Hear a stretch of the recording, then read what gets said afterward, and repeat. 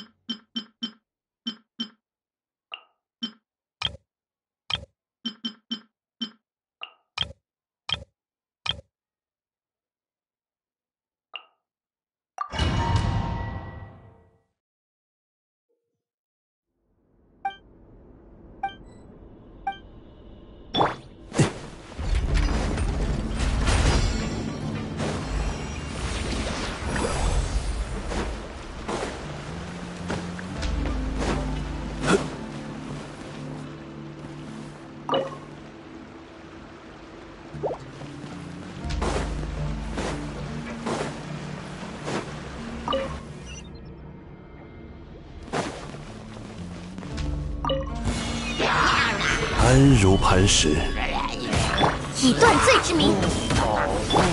六三零八射锋单元，吸附力测试。不得喧哗。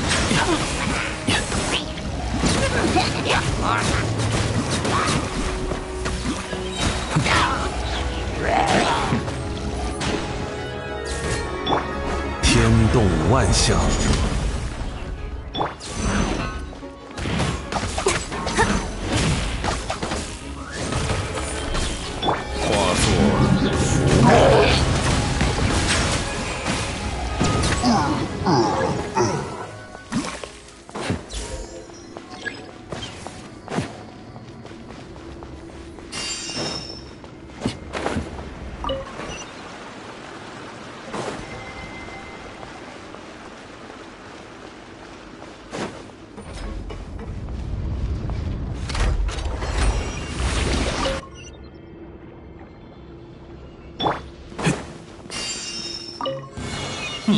拒收并蓄，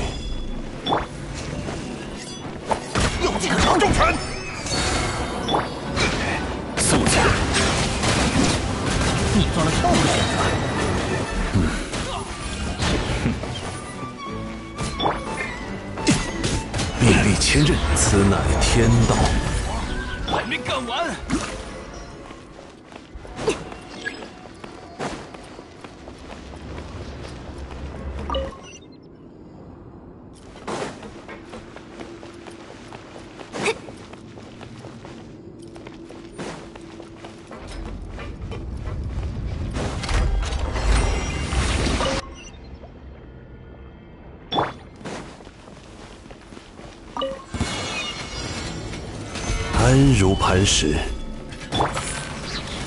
现身吧，奥兹！七武士，超级风魔块！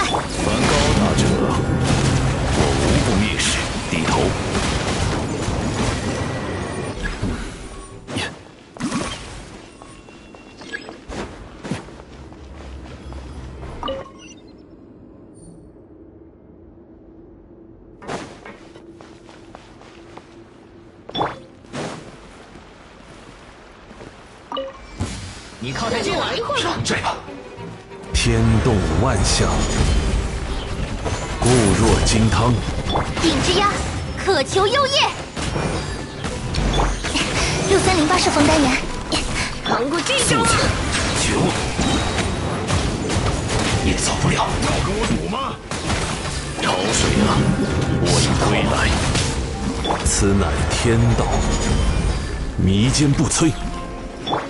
超扩散态，吸附力测试，以断罪之名。受人之托，忠人之事。的猎物，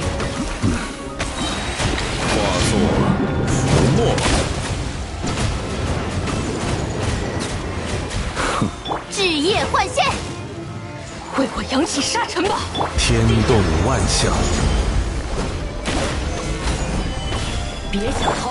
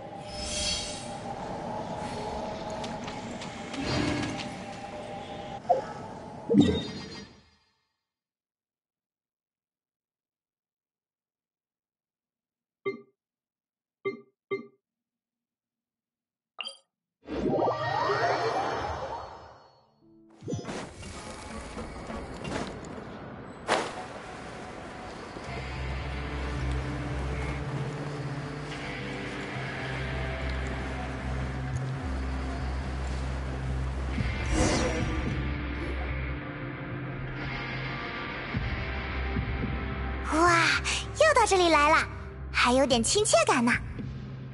看来你们也对这里念念不忘。公爵居然跑到门口来了，嘿嘿，是来接我们吗？是啊，迎接你们二位和由护士长引荐的记者夏洛蒂小姐。总算见到只存在于枫丹传闻中的公爵先生了，谢谢您同意我来梅洛彼得堡采访您。不用谢。不过您要采访的重点可不是我，记得我们的约定吧？啊当然当然，几位这边请。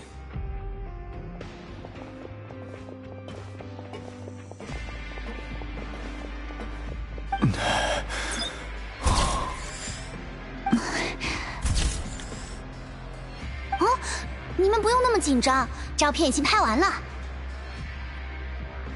夏洛蒂小姐，这些照片真的真的要刊登在《蒸汽鸟报》的头版头条上吗？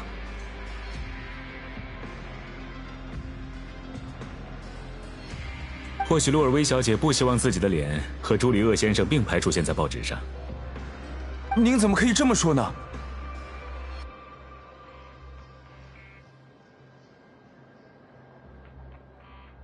哦，看朱里厄先生坚决反对的样子，莫非很看好这次采访？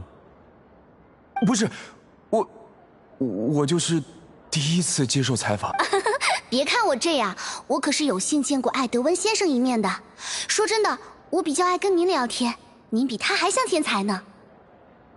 带来奇迹的船只，拯救世人的方舟，您就是传说中的使者，重现了神话。不过，那艘会飞的船现在在什么地方？夏洛蒂这家伙是不是想再拍一手独家资料啊？不得不说抱歉了，那艘船目前正在工厂深处，恐怕不方便带您前往拍摄。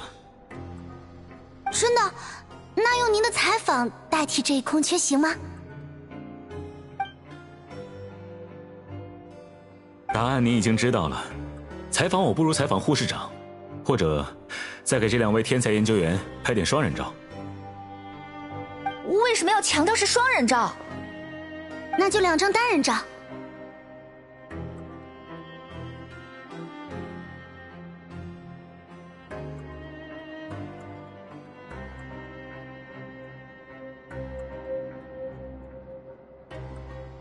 我头发乱不乱？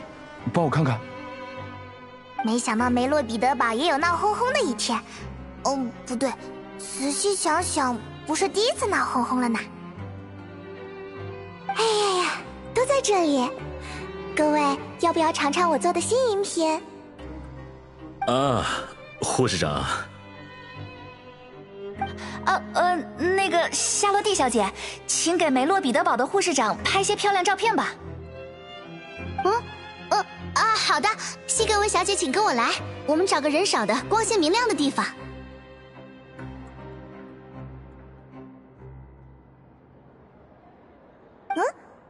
好好的，嗯，拍照要笑吗？所以最近梅洛彼得堡还好吧？如你所见，老样子。枫丹发生了一些改变，但对这里影响不大。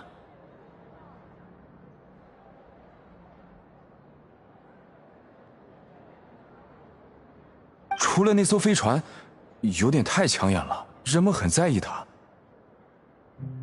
这正是为什么我要接受采访。舆论应当聚焦在幕后英雄身上，对吧，朱里厄先生，杜尔威小姐？您客气了，我觉得公爵您也应该适当露露面，可惜您不乐意。风头还是留给你们和这两位功臣吧。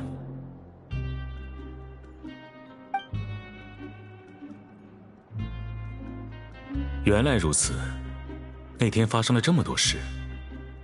啊，至于那位执行官，你或许还记得，他的三位小弟依然在等他回来。真够死心塌地的呀！我会告诉他们，接下来有一个好消息和一个坏消息。好消息是，你们的大哥并未遇到太多危险；坏消息是，助人逃狱刑期会增加。对了，你呢？会有什么改变吗？能有什么改变？梅洛彼得堡依旧会如此运行下去，我在这里的职责也不会改变。至于福宁娜小姐的离去代表什么，未来的封丹制度有没有变化，就留给水上的人们去烦恼吧。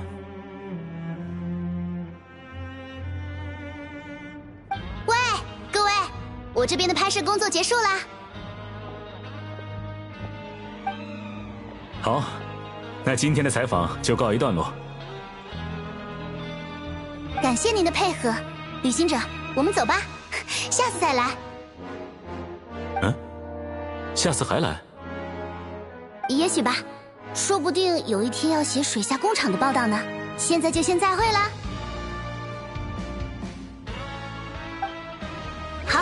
最。后一站，码头。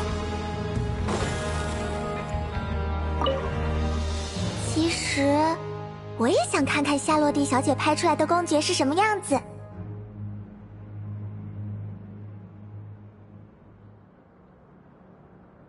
有什么必要呢？我们的工作中不怎么需要照片。正因为不需要，才有留念的价值呀。看公爵这副表情，似乎也没有太反感。或许我只是在为没被纳入镜头感到高兴。采访很顺利。嗯，顺利的用朱里厄先生和路尔威小姐抵挡了人们好奇的目光呢。哈哈，太好了！为他们庆祝吧，两位前程似锦的年轻人。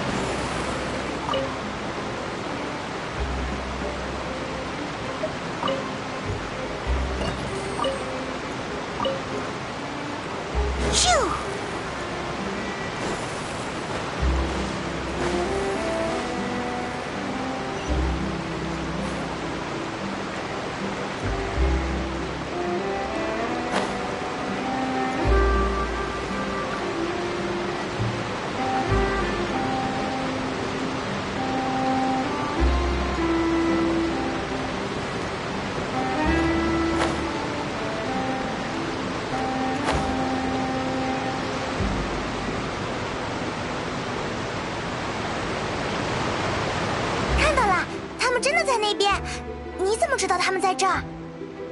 是纳维亚说的，他和林妮他们合作过，之后也保持了联系。他们最近都在码头一带发放这种神奇的口袋。旅行者派蒙，还有夏洛蒂小姐，要来一个魔术口袋吗？什么好东西？搬东西用的神奇袋子。海水的水位虽然恢复了，但很多东西飘得到处都是。夏洛蒂小姐可以用这个袋子搬，也可以使用朋友来搬。使用朋友来搬的意思是？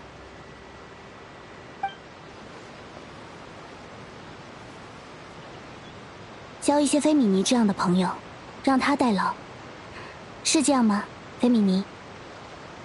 你说要帮我多交些朋友，是这样交吗？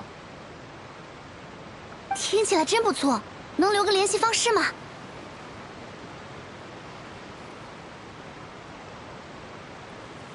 嗯，好的，请记一下我的地址。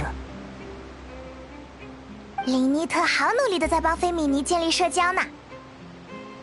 是菲米尼主动提出要多交朋友、多社交的，他还想做我们魔术演出的助理。嗯，我打算先引入佩伊作为表演助手，再让菲米尼也加入进来。以后水下逃生魔术大概可以交给他表演。潜水员水下逃生，会有人想看吗？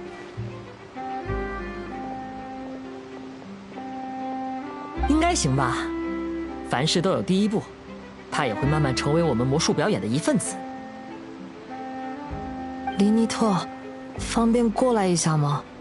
夏洛蒂小姐说要给我们拍照。来了。那位夏洛蒂小姐太善解人意了，看出我有话要说，特意把大家支开。所以，旅行者，最近好吗？父亲说，最近的事你们也费了不少心，他很感谢你们对枫丹做出的贡献。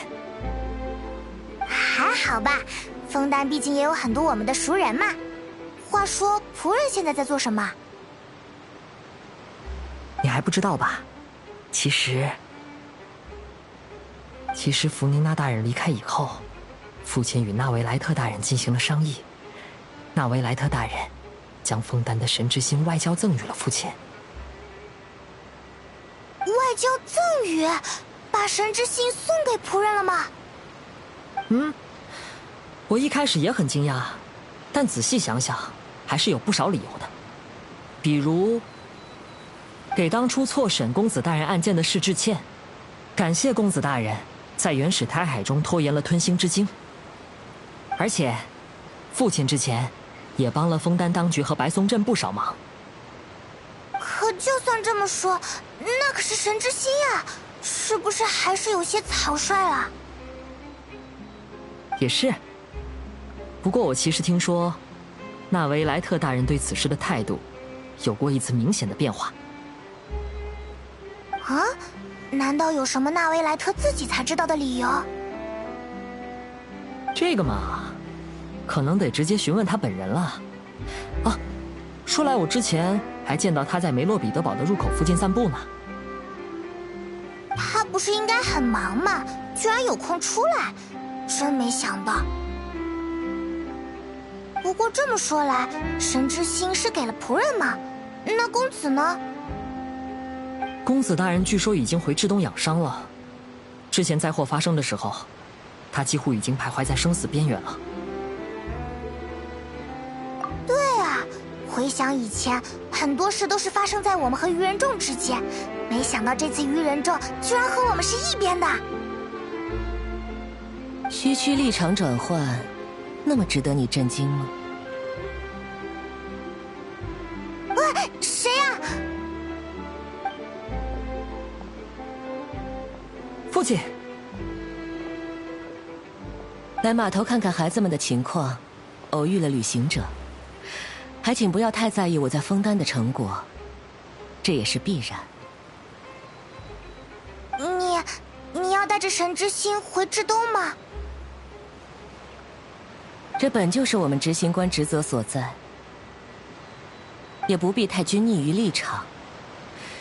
愚人众的目的，并不在某一处或某一人，而是整个世界。面对那样宏伟的目标，我们很难不拥有多种面貌。而转换这些，正是我一直在做的。取决于未来的种种可能。我从不相信任何人做出的过于漫长的保证，自己也不那样做。真诚只在一时，便不能被称为真正的真诚。至于你们，请容我期待下一次合作。好事不会是一个人办成的，你们是很好的合作伙伴。神之眼，我会记得的。也感谢你一直为公子保管这份信物。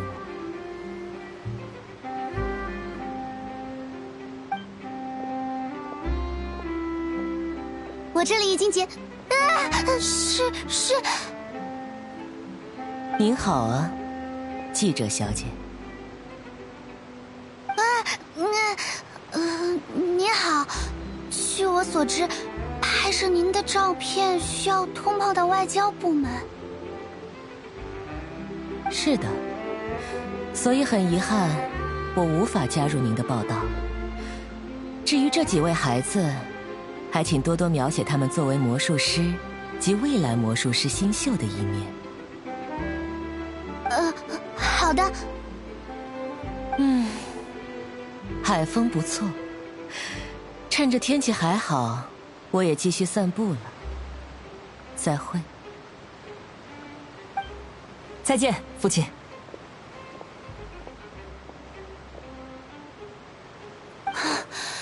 那个人真的好有压迫感，我都不敢拍他。还好采访已经做的差不多了，谢谢你们。今天这么多素材，够我写的了。别太紧张了，临走前来一个魔术口袋吧。旅行者和派蒙也拿一个，用来搬东西。是啊。第一次见面，我们好像就是在发魔术口袋，现在又在做一样的事，真够巧的。发生了那么多事，袋子却还是那个袋子。大概这就是生活吧。至于在生活中遇见的人，就都是缘分了。好了，稍后还要去其他区域继续派发袋子，我们先走一步。旅行者派蒙，祝你们拥有美好的一天。走夏洛蒂了，我们去看看纳维莱特的情况吧。希望他别忙到没时间跟我们交流。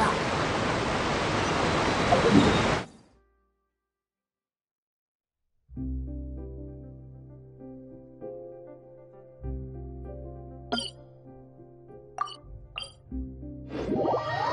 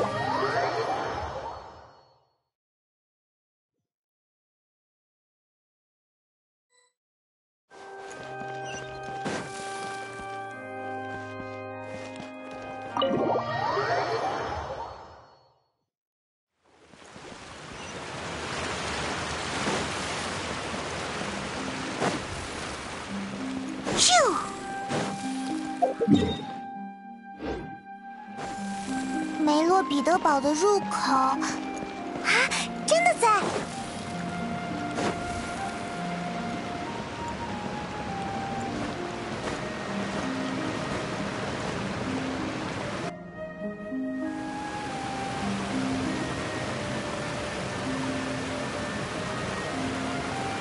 那维莱特你果然在这里呀。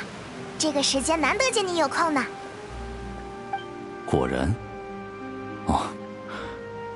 看来两位是遇到林尼先生了吧？先前他经过这里，特意跟我打了招呼。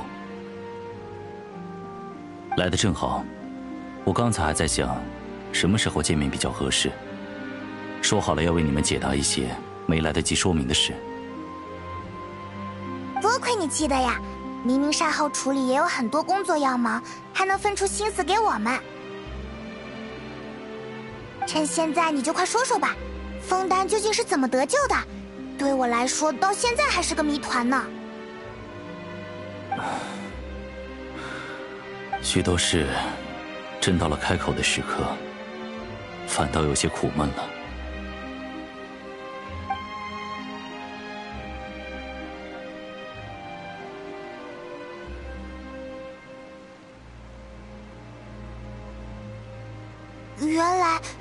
情的真相是这样的：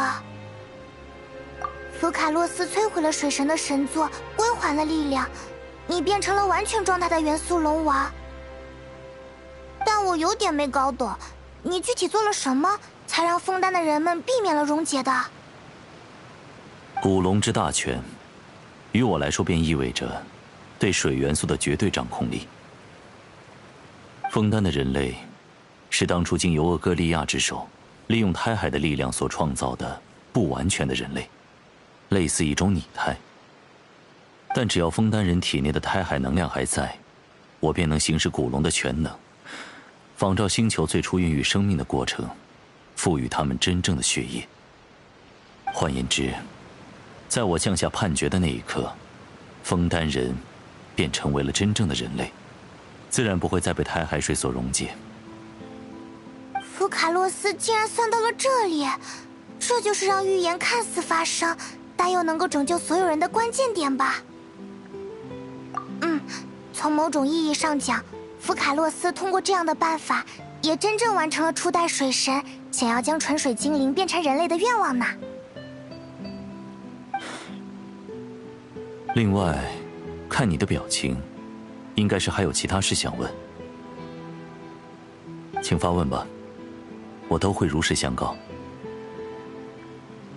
有关公子一案，我多方追溯，得知他年幼时曾坠入未知的深渊，机缘巧合下唤醒了吞星之精。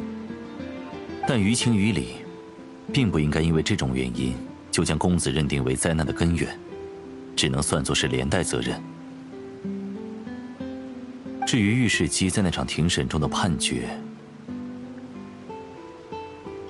是基于连带责任，还是因为福卡洛斯猜到他能与吞星之精互相牵制，故意让他替枫丹拖延时间，就不得而知了。福卡洛斯果然还是在为枫丹人着想吧，甚至最后枫丹人真正成为人类，也是托他的福。啊，这么说起来，我忽然想到一个问题：枫丹人还没有成为真正的人类之前，他们生出来的孩子。难道也是纯水精灵变的吗？生命本来就如水流般循环不息。你还记得枫丹人经常会来到陆景泉这里求子的事吧？嗯，林尼特说过，这里是枫丹所有水流的交汇处。其实就连那些夫妻自己都不知道，这种求子，其实并非只是一种风俗，而是一种仪式。泉水中那些受到祝福的纯水精灵，真的会在数月以后，作为新的枫丹人降生。我我大概明白了，看来这种仪式如今已经用不到了呢，但估计还是会作为习俗来延续下去吧。请发问吧，我都会如实相告。说起来，听莱欧斯利说弗尼娜已经离开了，那是怎么回事？弗尼娜女士。民众只知道，他的死刑并未真正执行。他卸任了水神意志，将名义上的事务交付于我，离开了歌剧院。我忠实而全面的转述了福卡洛斯最后的话。他听完以后，没有表现出悲伤，也没有表示欣慰，只是说他累了，需要休息。说完这些，他就收拾东西，像普通人搬家那样搬出了歌剧院。福宁娜？那他现在有地方住吧？请放心，我自然会安排妥当，他的衣食住行都不成问题。其实我隐约为他感到高兴，尽管他精神上累积的创伤需要时间来慢慢修复，但不再需要扮演水神福卡洛斯以后，他终于可以放下所有，去过普通的生活了。那你自己呢？得到水龙全部的力量以后，你有什么打算吗？福卡洛斯逝去后。御史裁定书机也停止了运转，这件事会直接影响审判。我慎重考虑后，决定取代他在庭审中的作用。今后我会自行审判，并将结果传达出来。看来你还是完全在以最高审判官的立场考虑事情呢。身为元素龙，我仍有许多未尽之事。可这份力量，这种责任。某种意义上都是被赋予的，所以在履行其他责任之前，我首先要作为最高审判官，继续为枫丹效力。二者将在我的生活中并存。此外，水神的离开还会带来另一个问题：歌剧院将不再产出绿场混能。是呀，那种能量来自于民众对水神的信仰吧。可现在城里的机械都在正常运转呀，能量究竟是怎么来的呢？如今的我，已经可以完全掌控蛮荒能量了，它完全可以用作替代能源，这也是我暂时离不开枫丹的原因之一。哇，古龙的全能真是好用！请发问吧，我都会如实相告。哦，对。听说你把神之心外交赠予了仆人。那两位执行官在这场灾难中的确做出了诸多贡献，暂且不谈他们完全出于自愿的部分。单论现阶段愚人重在枫丹的目的，表面上看只有一个，那便是神之心。如今御史裁定书机停摆，甚至水神之神作都不复存在，我也并不需要神之心的力量。神之心在枫丹，已经彻底失去意义。假如愚人众的目的并不单纯，那不如就趁此机会，满足愚人众的要求，免去更多不必要的周旋。还真是复杂的考量啊！我还以为你只是为了感谢仆人，以及给公子道歉呢。请发问吧，我都会如实相告。过一段时间，你们准备要去纳塔了吗？我在做向导方面可没有什么天赋，只能尽可能把我所知道的情报告诉你们。据我所知，纳塔可以说是龙的国度。龙的国度，像你这样的龙吗？不，我想我在纳塔应该并不会受到欢迎。和像我这样的古龙不同，纳塔的龙类应该经历过漫长的发展和演化。如今正大量与人类共存着。那里也是战争的国度，大地上延续着无休止的战火。还有一个与你们来说可能会有用的情报，那是我之前与仆人谈判时不经意间获知的。名为队长的执行官，也已经入局了这场无休止的战争之中。队长，听起来很强的样子。真是到哪里都有这些愚人众执行官在活跃呀！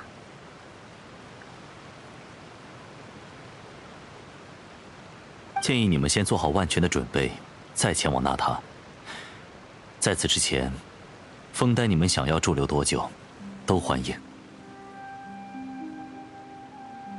请发问吧，我都会如实相告。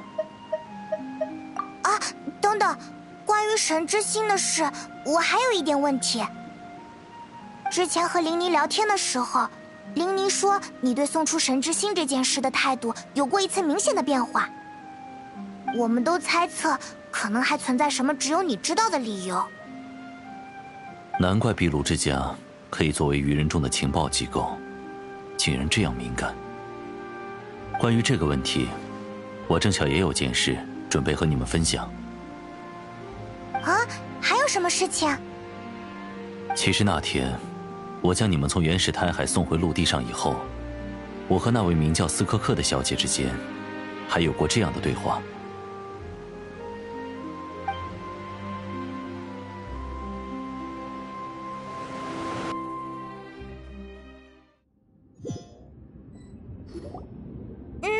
我们两个就先上去看看了，你也早点上来哦，纳维莱特。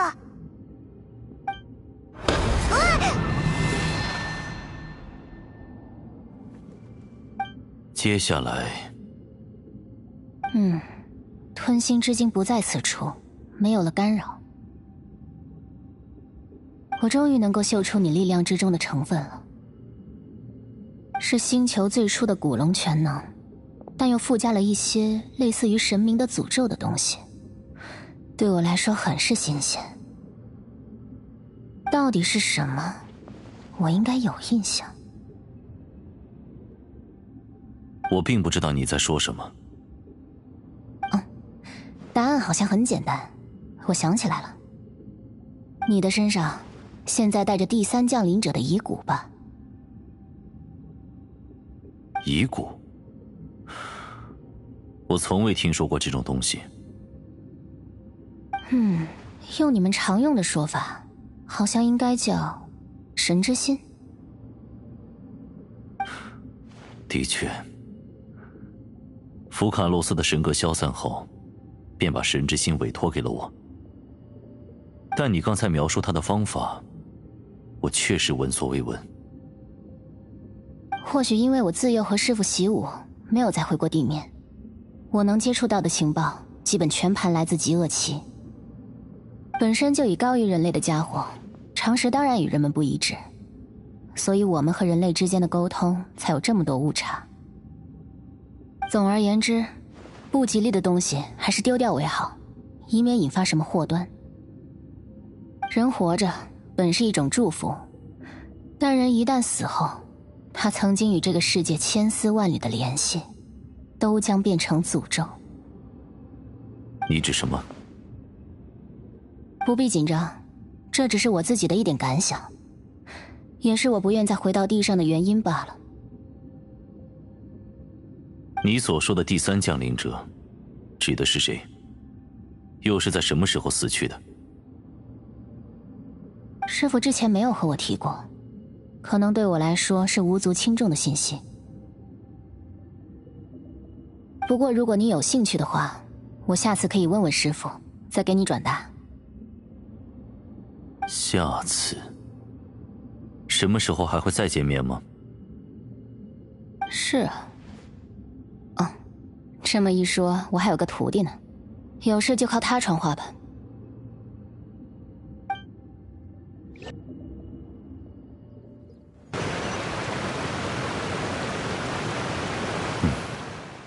以上是他告知我的信息，无论是否有用，我都想先将这些转达给你。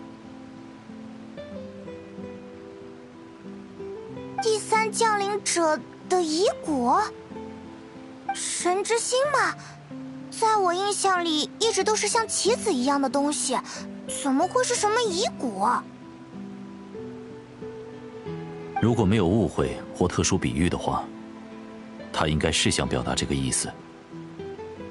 他说这个很不吉利，还是丢掉为好，于是你就送给愚人众了呀。如果斯科克小姐所说的都是真实的，那么这种未格的东西留在枫丹。的确只会徒增隐患。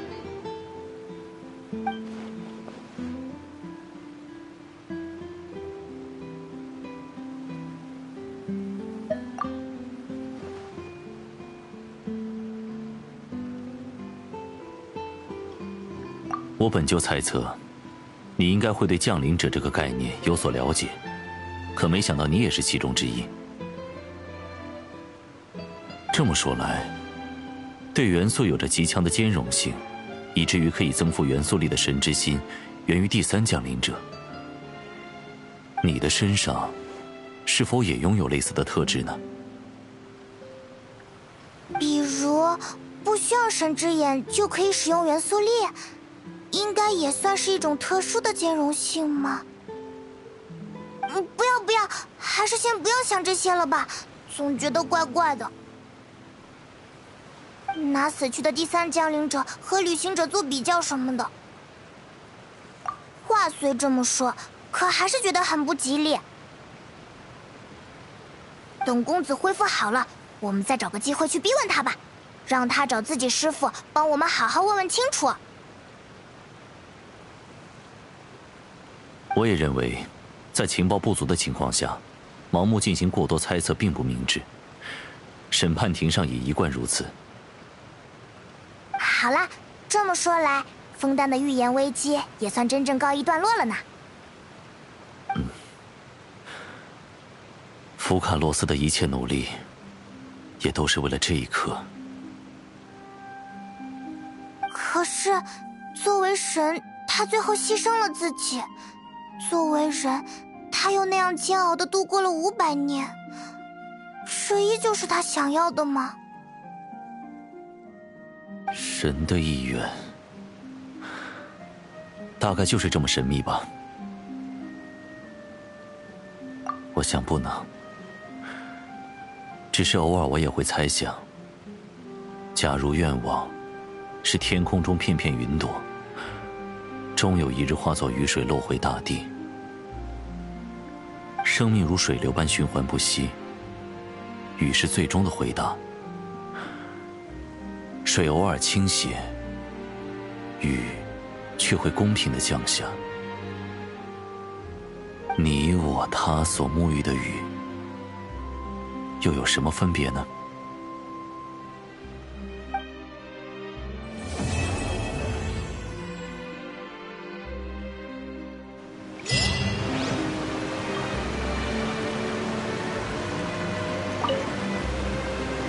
另外。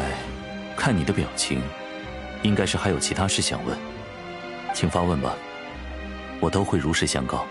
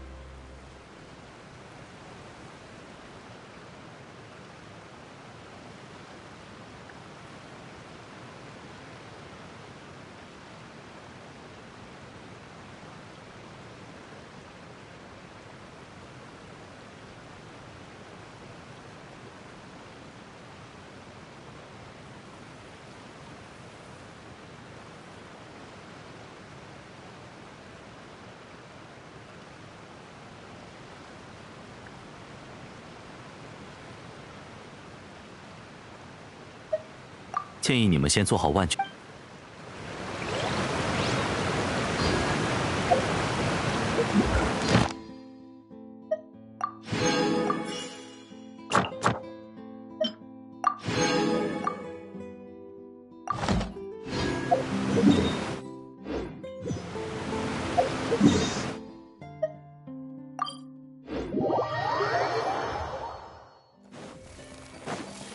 向着星。感谢你完成了今天的。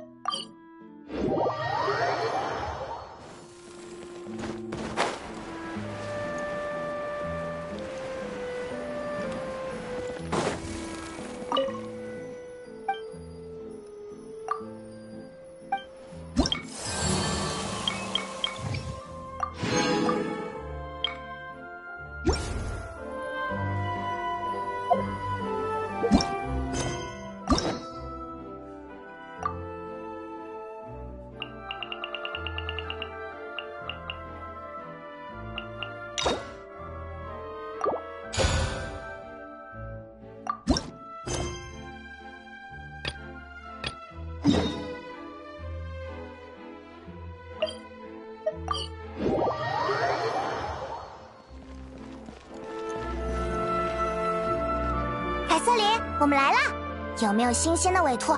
要最实惠的那种。有什么关系？表示一下热情嘛，都是老熟人啦。两位还是这么有精神，不愧是冒险家协会的重要助力。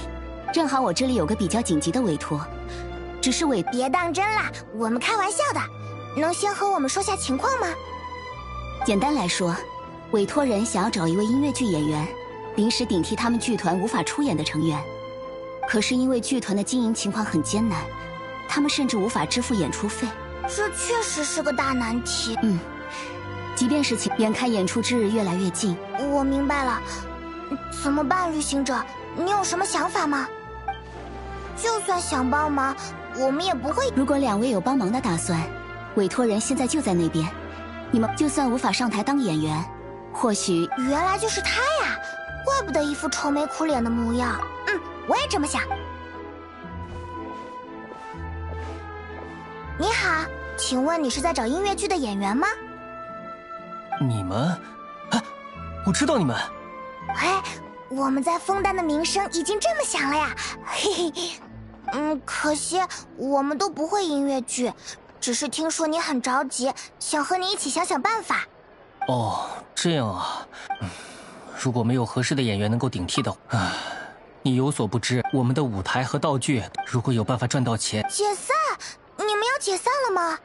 哦，看来冒险家协会的在这场演出结束后，谁都不希望草草结束啊。嗯，我们的女主演她从小就得了一种病，没有她出演。整部剧都会失色。原来是这样，要不然我们出点钱赞助一下。嗯，你手头有盈余吗？哦哦，大可不必，我们欠不了这么大的人情，而且也很难保证有偿还的能力。有道理哦，如果找来的只是拿钱办事的人，相互磨合也是个大问题。还是要想办法找到最合适的那个人。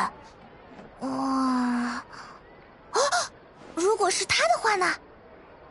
嘿嘿，这就是我们的默契。现在的他应该无所事事才对。他很擅长表演，曾经的人气也特别高。出演音乐剧应该是小菜一碟吧？你们想到了谁？是知名的人吗？啊，你你在开玩笑吧？没有啊，虽然不知道他以前会不会真的上台演出，但以我的直觉，他一定特别擅长。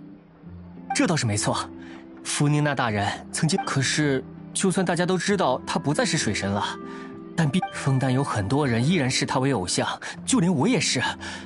所以，我们这样的剧团怎么可？可是，哎，好吧，如果福宁娜，我们剧团里的人。应该都有，但我觉得还是要这个你就不用担心。现在的他可不像以前一样，必须要维持高高在上的姿态了。谢，谢谢你们愿意帮忙。哎，不过说起来，以前福宁娜她住在豪华的墨芒宫里，现在搬到哪里去了？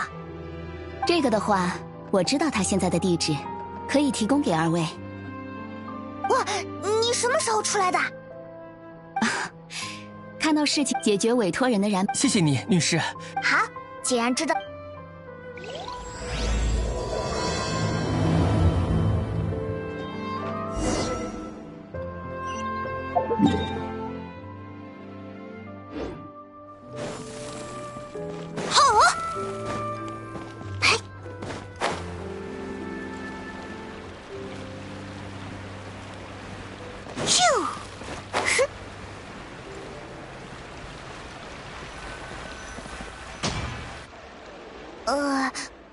林给的地址真的没错吗？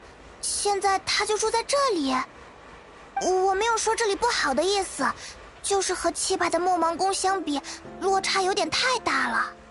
对别人的新家指指点点之前，先看看当事人在不在旁边比较好哦。喂，现在怎么都流行突然出现？你也是，凯瑟琳也是。正常的出门购物而已。家里的通心粉吃光了，所以我又去买了几大袋。以前我有更加丰富的食物选择，现在嘛，觉得这种简单又传统的食物也挺美味的。不会啊，你可以多准备几种酱，先吃一周番茄酱，再吃一周肉酱。怎么听起来就像是在应付？真失礼啊！居然会怀疑我的烹饪水平。反正出门也没事可做，我整天都待在家里，那吃简单一点也很正常吧。再说了，就算是治水神、蓬蓬泡芙什么的，只要我愿意学，还不是一下子就掌握了？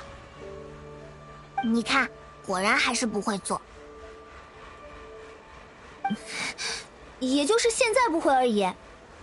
你们到底是来干什么的啊？不会只是来看我的落魄日常吧？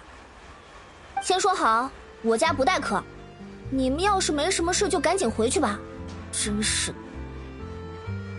对不起，对不起啦，消消气嘛。对啊，对啊，旅行者说的对，没有取笑你的意思。等等，分明有很多话是你在说。找我办事？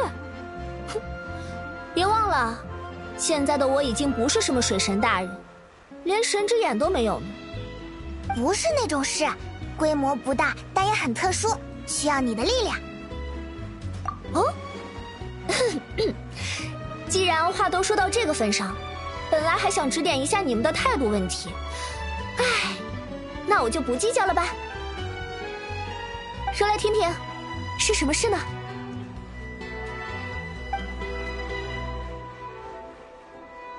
原来如此，我就知道你们专程跑一趟，不只是为了消遣我。毕竟，曾经我也是枫丹最耀眼的大明星。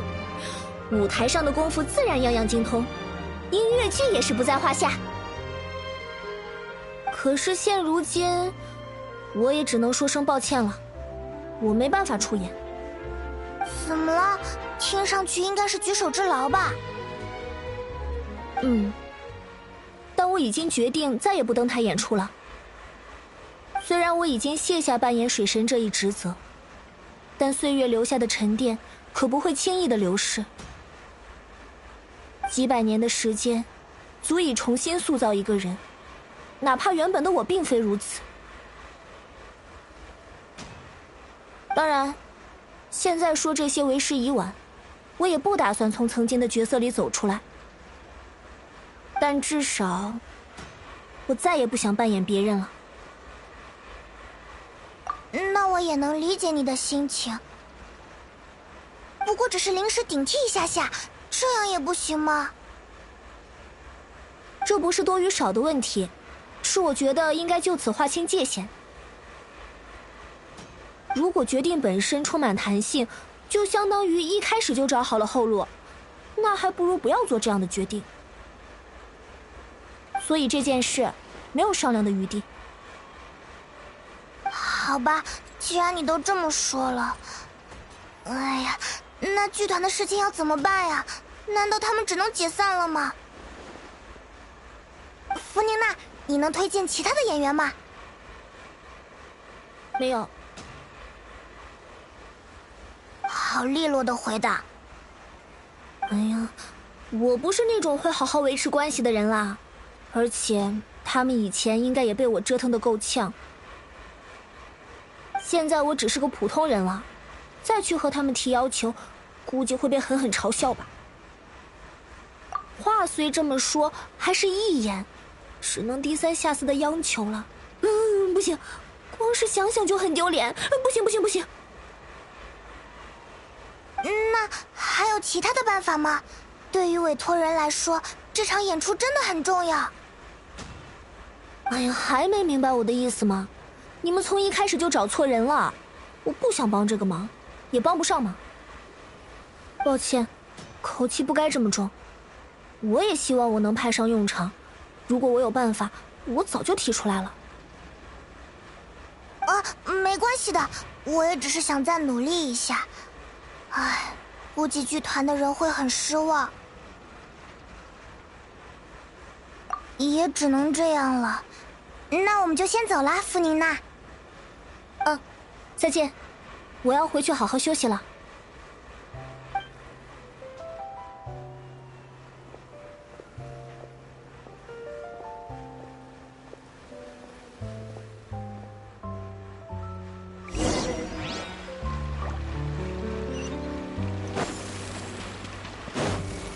没办法，也要尊重弗尼娜的想法。对她来说。表演本身就会令他想起很多难受的往事吧。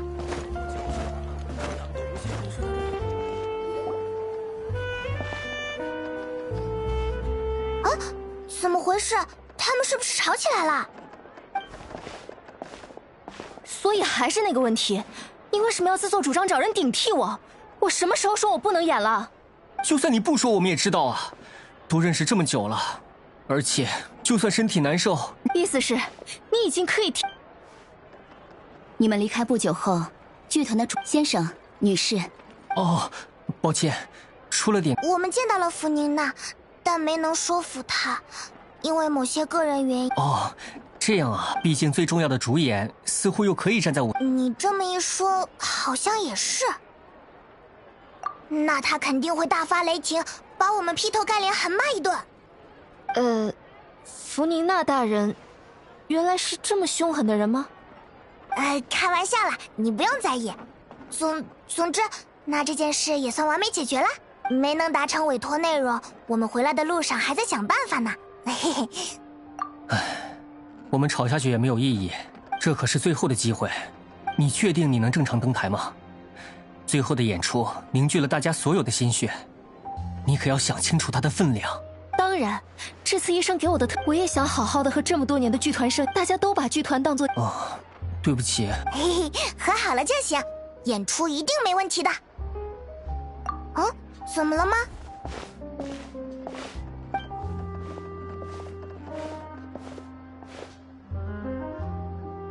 喂，你怎么？我。我想起有东西忘买了，正好路过而已。哎呀，知道了，知道了，我自己会走，别拽了。啊，那个你们好，不小心听到了你们的谈话。弗宁娜，你不是说去休息了吗？怎么会在这里？因为。嗯，还是有那么一点点担心这边的情况吧。嗯，有一点点。感觉刚刚你们来找我的时候，我有点急于表达我的态度了，还说了比较重的话。明明事情还没有了解清楚，哎呀，后来总觉得有点愧疚。抱歉啊，派蒙。嘿嘿，没事啦，我根本就没往心里去。你还真是会挑最难回答的问题来问。明明言辞拒绝了，结果心里又放不下，多丢人啊！更糟糕的是，居然还被抓到了。不过听起来，你们的问题好像已经解决了。啊，一开始听说不必这么想，也不需要用这样的称呼，叫我弗妮娜就可以了。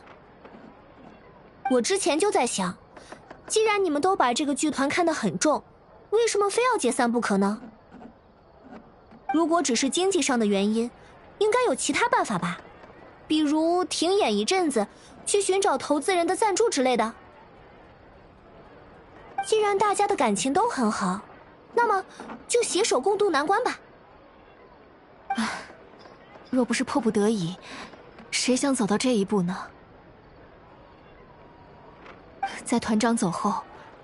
我们这个剧团就失去了精神支柱，每况愈下了。我们的团长也是剧团的创始人奥蕾丽，她是少女连环失踪案的其中一位受害者。啊！这也是为什么我会认识你们二位。多亏你们的努力，才让可惜。她是弗宁娜大，弗宁娜女士的忠实观众，也是因你的表演才走上音乐剧之路。他劝说很多无家可归或郁郁不得志的人加入剧团，亲自表演，亲手写剧本，还指导我们每一个人。那时候有很多人喜欢看，结果后来就发生了意外，对吧？啊，在那我们不会创作，更不会经营，与其眼睁睁的这样啊，没想到居然是这样。在诸多受害者中，还有这样一位才华横溢的平民艺术家。最后的演出，不光是你们的谢幕，应该也是献给他最后的礼物吧。嗯，没错。幸好跟了过来。既然你们有如此不幸的遭遇，我也没办法再袖手旁观了。弗宁娜，我并不是说要打破我为自己定下的原则，而且现在他们也不再需要顶替的演员。但作为经验丰富的看客，我可以在表演的层面给予一些指导与帮助。当然，还是要看你们需不需要这份帮助了。当然需要，来自弗宁娜女士的指点，求之不得。可是，我们没办法支付酬劳，这没问题吗？我不需要那种东西。如果非要表达感谢的话，就和我讲讲那位团长的故事吧。自从离开了歌剧院，我就开始意识到，坐在高高的位置往下看，眼里的东西都很片面。律法只裁定罪行，并不度量感情。如果说判决能让有罪无罪的争议尘埃落定，那当事人充沛的感情，最终会流向哪里呢？有意思的想法，但我觉得，感情最终都会回归人心，随时间逐渐沉淀。就像他们对于团长的思念一样，这是我过去都不曾亲眼目睹的东西。现在我想好好看看。呃，你还是喜欢说这种好像在剧里才会听到的台词。其实你就是想凑热闹吧？这和以前不一样，哎呦，对牛弹琴，真没劲。不是牛，是派蒙。你愿意和我一起去吗？偶尔停下冒险的脚步，听一段故事，也不错吧？太谢谢你们了，团长以前就很喜欢弗宁娜女士的表演，我们这些成员自然也是一样。哦。跟我来吧，到我们排练的地方看看。地方不大，还请多多包涵。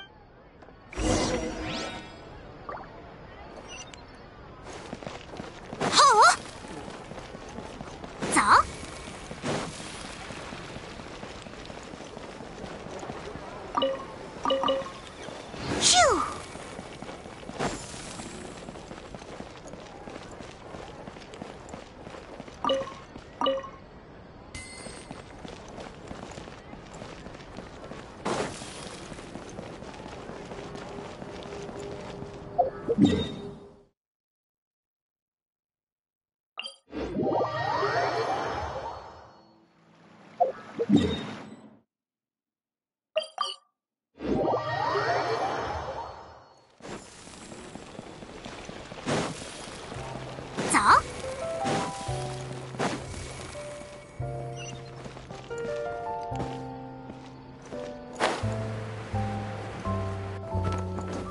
走。咻。慎风慎水。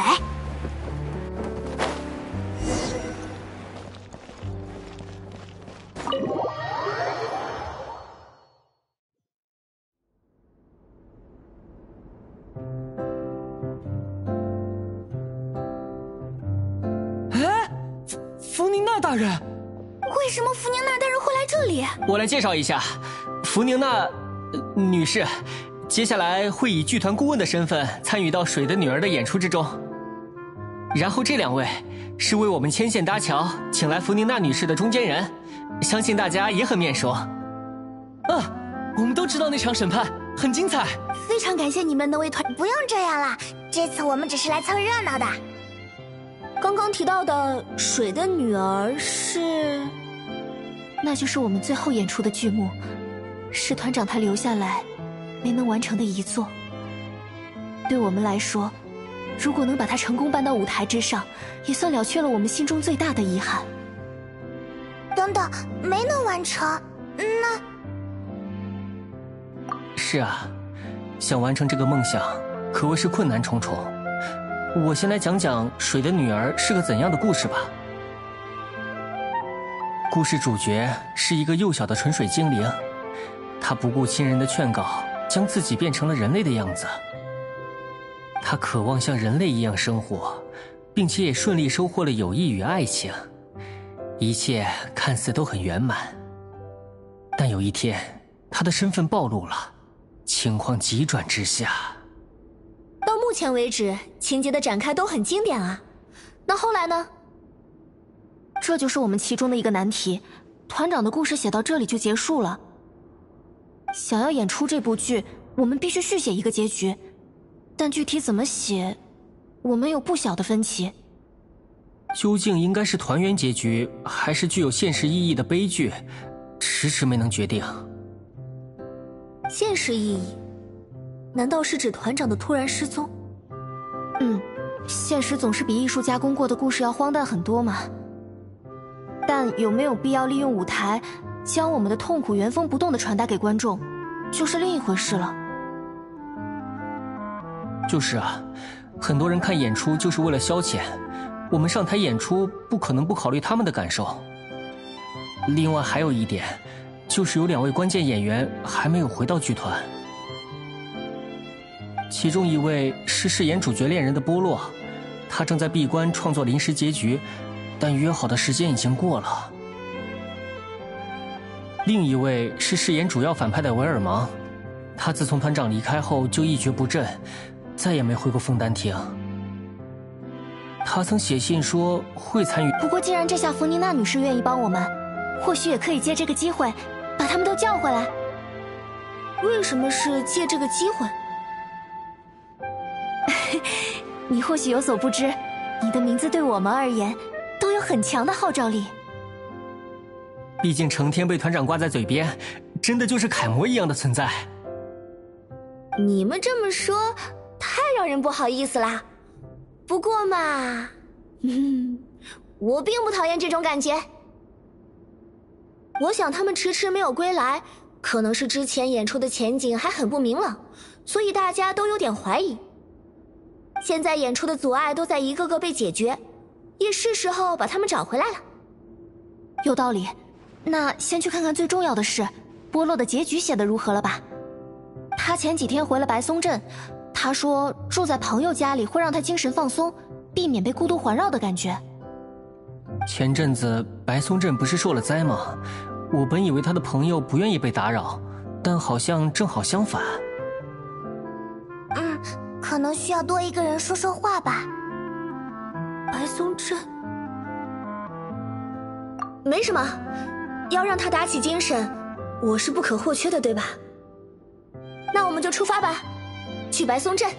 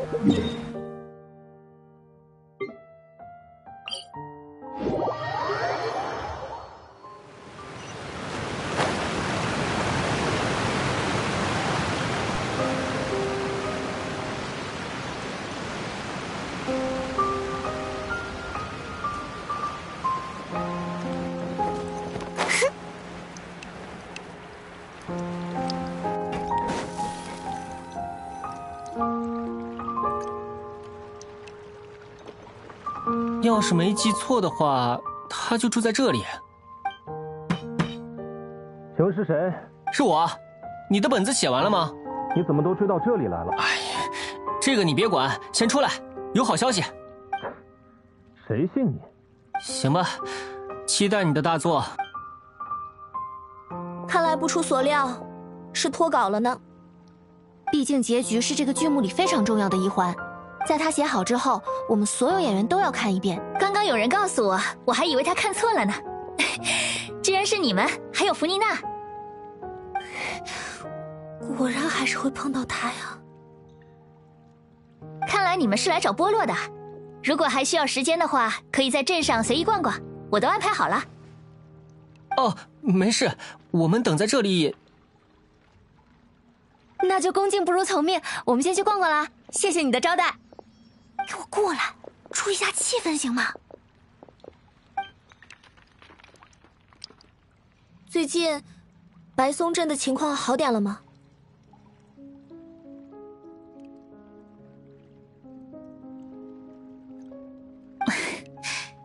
只能说在慢慢恢复吧，但很多人内心的创伤，或许一辈子都无法痊愈。对不起。我也很想做些什么。好啦，难道我们每次见面都要聊这些沉重的话题吗？我们都有沉重而痛苦的回忆，但我们不一定要被他们压得喘不过气呀。既然你也有打算重新开始，就不要总把过去的事挂在嘴边啊。谢谢你的安慰，说的很有道理。不过至少现在，还是让我保持郑重的心情吧。嗯，没关系，我知道真正要实践起来也没有像我说的那么轻松。我来也是为了告诉你们一声，至今为止，也不是所有人都原谅了水神在灾难中的毫无作为。为了避免不必要的麻烦，我和镇上的人说，你们都是剧团成员，而你是扮演弗妮娜的演员。嗯，虽然不能说这样就万无一失。但应该就可以自由活动了。原来你还有这么细心的一面。你这话说的，刺梅会的会长从来都是胆大又心细。好了，那我先走了。哎，你们好好陪陪他哦。那我们走吧，去上面看看。我也没有能说心里话的朋友。可能就像他说的，你们就是最适合的对象。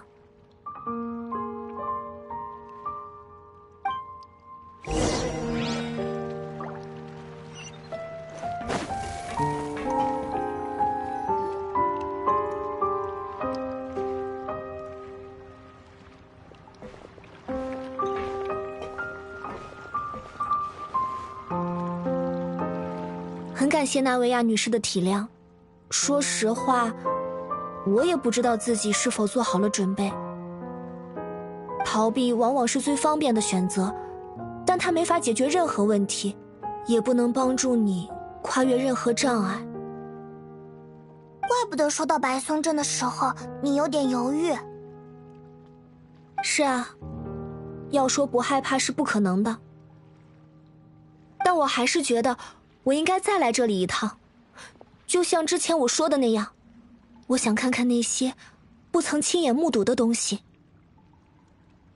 如果这里的人愿意原谅我，那我会很开心。但他们如果暴言相向，我也会全盘接受。是啊，我能感觉到那些视线。可能他们觉得，穿着水神戏服到白松镇来，本就是对这里居民的一种不尊重的行为。我曾经很害怕被人注视，尤其是被质疑、被怨恨的时候。哎呀，看来我还是没有做好准备啊！没想到你对自己还挺严格呢。我不能只看我想看到的东西啊，那不就和以前一样了吗？你们看，是不是人逐渐变多了？我们还是别在这里久留吧。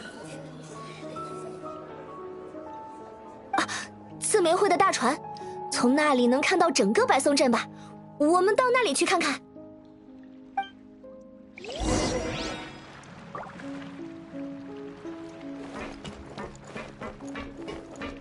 咻！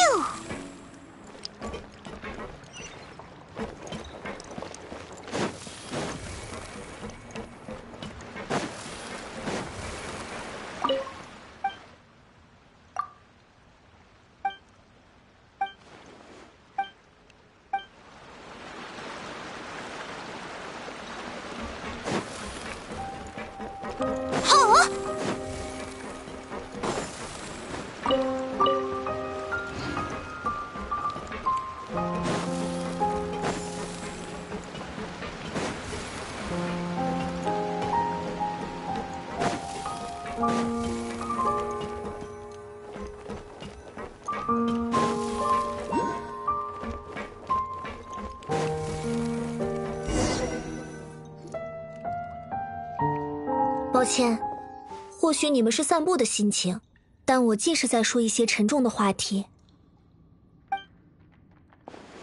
没关系，这样的你也挺新鲜的。嗯，再多陪我一会儿吧，谢谢你们了。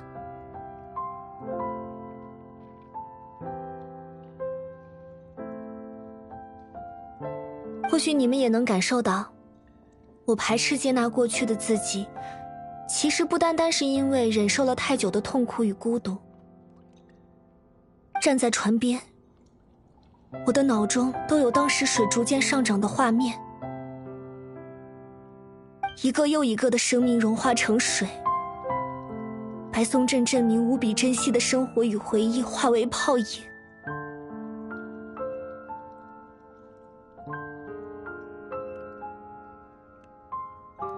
在神明的庇护之下，人们笃信在灾难降临之前，会有强大的存在挺身而出。我也曾经为了让他们相信确有其事，而不断的表演。可是当水真的涨上来的时候，水神无动于衷。也不能这么说呀，那时的你有你的职责。为了守护真相，我一直在经历相似的事。越是这样，我就越痛苦，越孤独。逐渐的，我除了真相一无所有。我也害怕我会彻底失败，坐在我的位置上痛哭流涕。好在有你们，还有诸多英雄的帮助，我们回避了最坏的结局。所有人都担负起了身上的责任，而我重归自由。仔细想想的话，自由不就是不被需要的意思吗？因为我也没什么用处了。没想到你会这么想，嘉奖。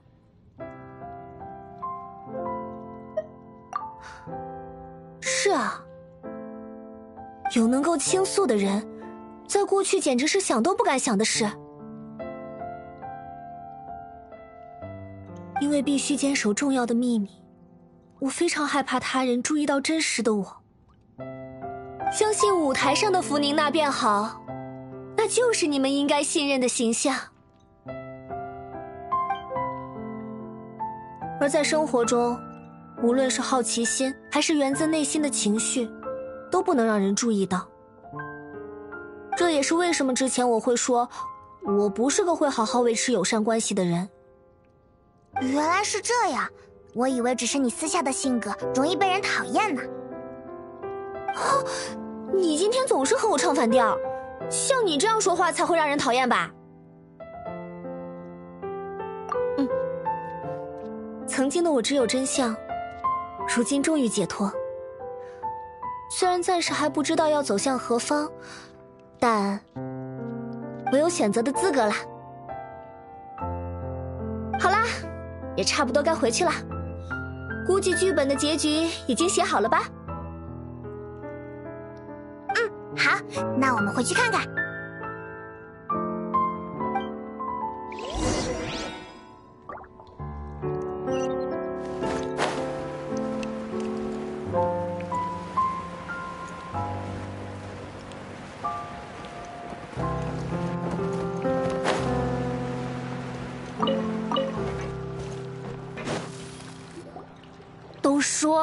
你现在这个样子就要少吃一些油炸食物。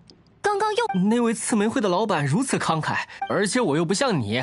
现在谁跟你讨论角色了？我天天被身上的病折磨的要死要活，看你这么不珍惜身体，我就气不打一。啊，这两位又在吵架了。我们回来了，你们能不能暂时休战啊？哦，你们回来了，能受到这么好的招，他还差最后一点点，我们再等等就好了。那随便聊聊吧。哦，对了，刚刚说到角色，我知道他是演纯水精灵变成的人类，那你呢？我吗？也是纯水精灵。本来是鹤的模样，后来戏服穿不进去，只能改成猪了。不，嗯，对不起，对不起。猪也挺有意思的，我记得是抚养小纯水精灵长大的角色吧？对，他语重心长的对幼小的纯水精灵说：“成为人类，就意味着隐藏秘密、经历痛苦与孤独相伴。即便如此，你也愿意吗？”啊，听起来怎么有点……这是剧本里的核心台词。我觉得这就是团长一生的写照。他从来不把剧团令人烦恼的一面给我们看，只是让我们享受纯粹的表演。以至于在他离开之后，我们才发现，经营剧团究竟有多么不容易。之前你有说过，家，因为我生下来就得了那种怪病，家里人发现治不好，就不要我了。我一个人在外面打工买药，病发了就在巷子里躺几天，像乞丐一样。后来团长说我的声音很好听，要不要和他学唱歌？我就答应了。他不仅教我唱歌演戏，还帮我买药，在我病发的时候照顾我，这些对他来说都是沉重的负担。那他真的好厉害。那是当然，团长把所有的心思都放在剧团和团员身上了。我们所有人都以他为骄傲。我那时候也是，因为我是杀人犯的孩子，从小就没有父母照顾，被送去了孤儿院。结果身边的人天天找我打架，说我是杀人犯的孩子，所以很能打吧。其实。只是看我好欺负而已。后来被打的实在受不了，就跑了出来。还好遇到了那位团长。嗯，那时候我就想，我要一直在这里，直到他解散。结果这一天，还真被你等到了。啊，你终于搞定了！来来来，介绍一下，这位是我们的演出顾问福宁娜女士。我，我没看错吧？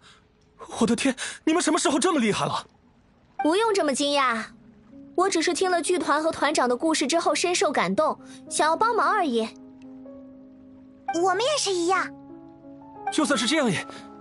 抱歉，先让我冷静一下。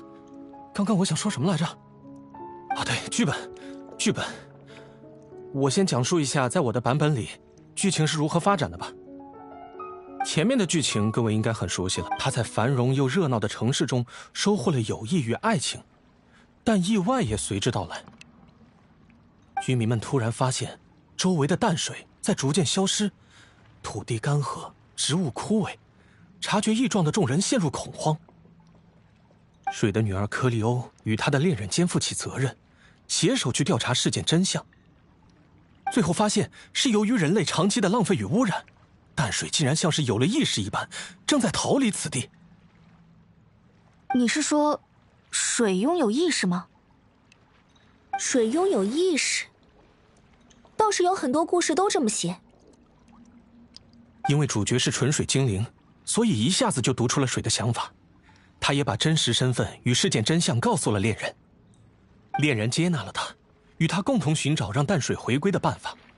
但与此同时，有人也偷听到了这件事。水的女儿被视为夺走淡水的罪魁祸首，陷入两难境地。然后呢？然后，就是水的女儿挺身而出，牺牲自己。拯救她的恋人与全体人类。啊！可是这些人不都把克利欧当成坏人吗？为什么他还想救他们？因为他想救的主要是他的恋人，以及帮他说话的人吧。从对恋人的爱慕，上升到对人类的博爱，这应该也是克利欧这位主角的伟大之处。我在意的是另一个问题。你知道水的女儿的主角就象征团长对吧？他最后没有机会成为英雄。既然是为了纪念团长，当然要记录真正的结局啊！水的女儿因仇恨而死，深爱她的人不再揭晓真相，人类走向灭亡。但这种结局还是太残酷，并且对观众也有点不负责任。和奥雷利团长的遇害无比相似，都是毫无价值、莫名其妙的。出事的那天，团长突然告诉我们，让所有人先离开枫丹亭，去城外等他。我们在说好的地方等了好久好久，团长都没有来。我们回去的时候，他已经失踪了。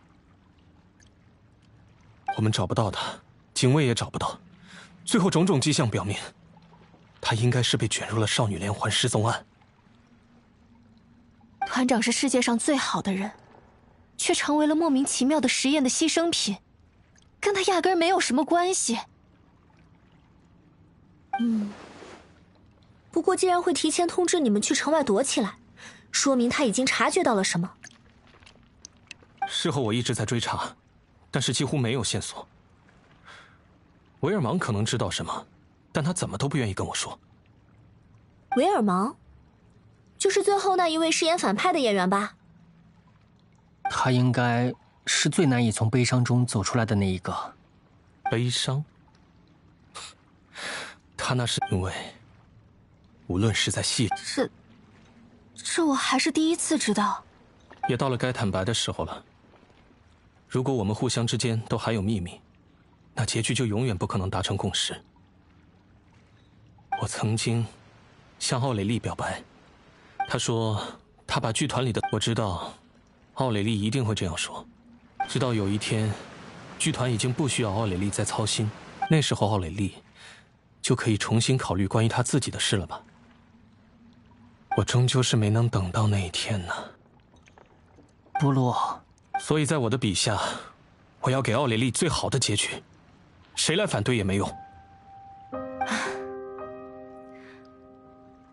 看来你和威尔其实一直以来，就是他们两个对结局的分歧最大。总要有一个人能说服对方。既然都聊到这里了，只能去找他了吧？你做好面对真相的准备了吗？老实说，有点害怕，但为了最后的演出，我什么都愿意去做。弗妮娜女士，难道你能理解我的感受吗？嗯，当然我们走吧。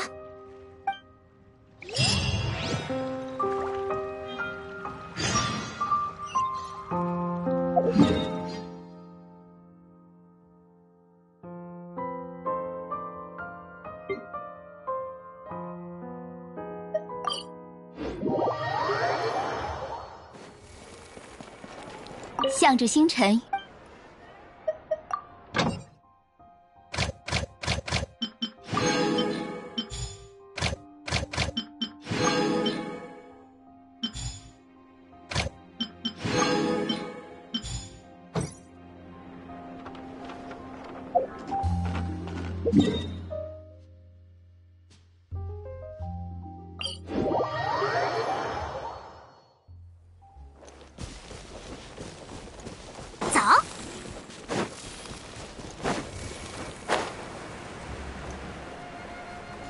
样的路，第二飞，你的身体没问题吧？哼，你多担心你自己吧，我可比你快多了。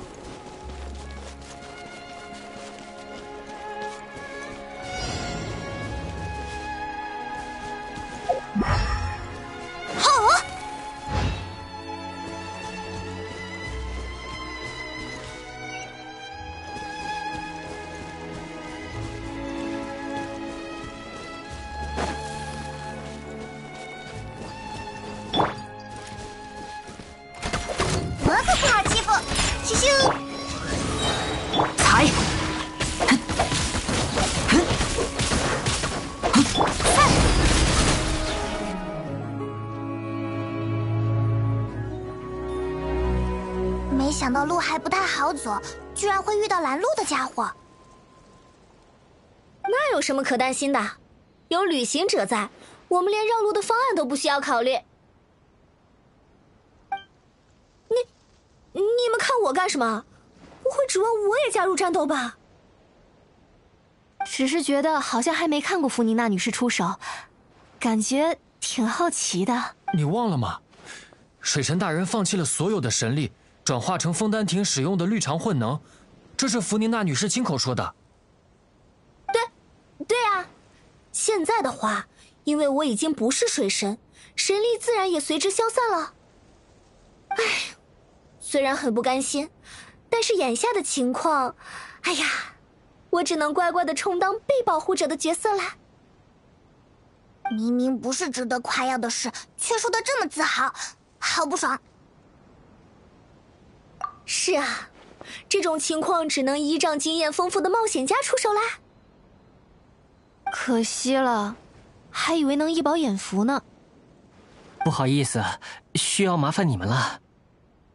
放心吧，几下就能解决。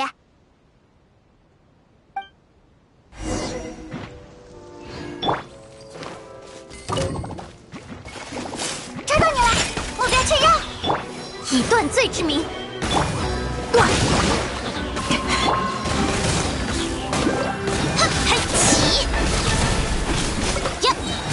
吃饱喝饱，一路走好。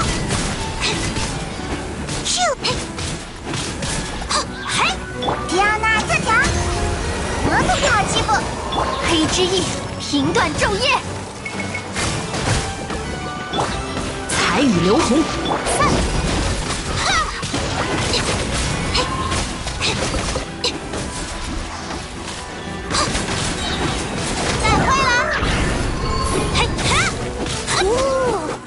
真漂亮，名不虚传呀！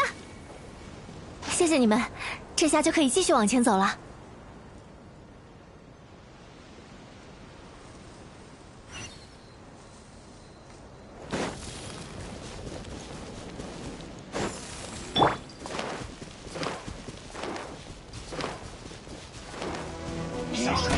我听到了，让我听听雨线难画哪咻！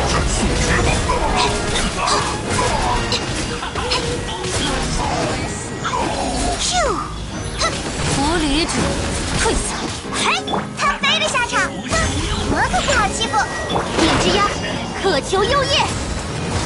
知师成景，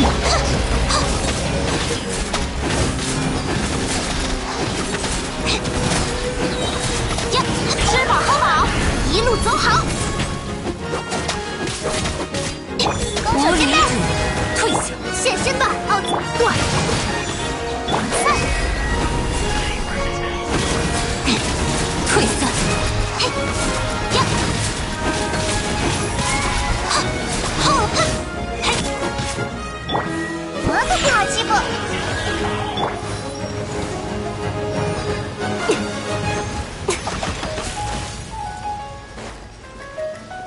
又来了，雨线难画，无处可逃，彩雨流红，哎呦呦，寒冬终会再会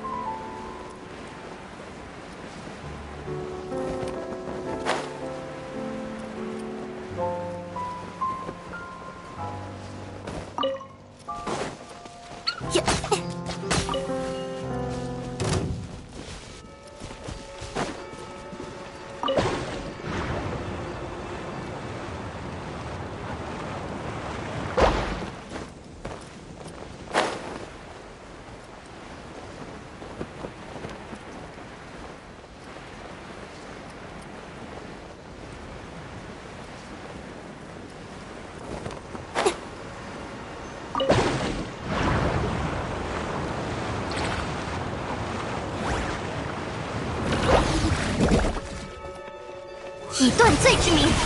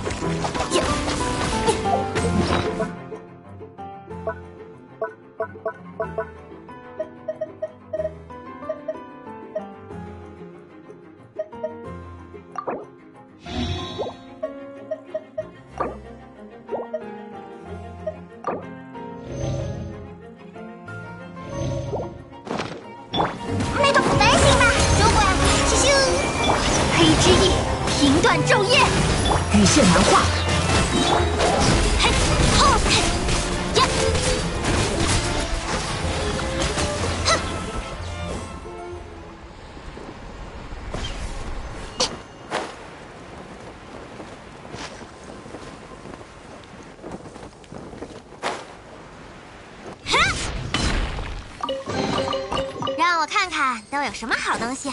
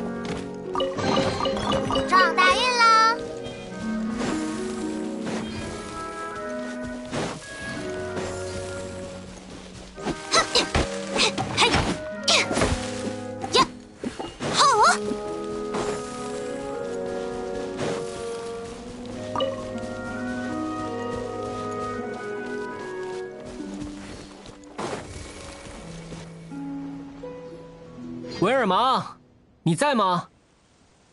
嗯，是你们？为什么弗尼娜大人也在？我来解释吧。现在只差……所以你们觉得，正是因为水的女儿无比重要，不然，谁知道还有……你这是在逃避，威尔芒？难道说奥蕾丽的意外和你？我不想说。听着，维尔芒，我曾经认为我对奥蕾莉抱有爱意，是件特别羞耻的事。我没和任何人提过，但现在我依然愿意告水的女儿缺少了属于奥蕾莉的感情。唉，你们应该都知道，剧团的运营不靠剧票，全靠我们在演出之余。某天演出结束后，有位商人联系到我，说只要剧团能在演出时提供他们的饮料，我觉得这是双赢的生意。没有和团那个东西叫做乐思。那。那不就是少女连环失踪案的元凶贩卖的药水吗？看到那几箱东西，我吓坏了，去找团长说明了这件事，他也特别惊讶，但他没有责怪我自作主张，而是自己。商人觉得我们出尔反尔，提出了高额的。然然后呢？我本来想自己去解决这件事，结果被团长拦了。可是后来，对方越来越难缠。我承认。我闯了大祸，我不敢告诉你们。团长失踪之后，我就更不敢说了。怎么样，我害死了奥蕾丽，你满意了吗？喂，你别这样说！你这个混蛋！你明知道奥蕾丽有危险，你为什么不告诉我们？都已经是那种情况了，你在怕什么？你该让我们去救他？你知道你做了多荒唐的事吗？别冲动，别冲动啊！就是就是，先冷静一点吧。我要怎么冷静？就是这家伙，害死了奥雷利，我最心爱的人，还大言不惭说什么为了演出，根本就是不敢承担责任。对不起，我一直想对剧团的每个人道歉，但团长已经不在了，这种歉意还有用吗？我就是个懦夫，犯下了无可挽回的错误。要打就来吧，杀了我也无所谓。送我去见团长，在那个世界当面向他道歉吧。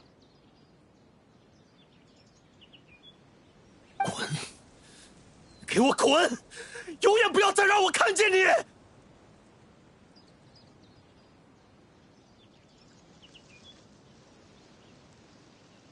行了，你们两个吵死了，给我停下来！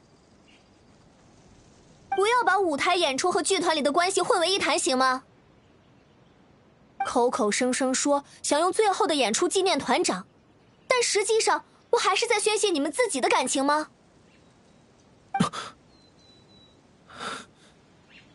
你说的没错，抱歉。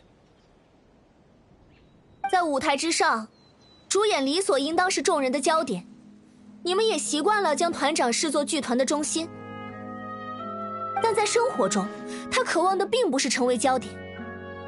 我能感受到他对你们的爱，对剧团的爱。他想要为弟弟妹妹建立一个温暖的家庭，并努力为你们遮风避雨，这才最应该被纪念。他早就已经是你们的英雄了，不是吗？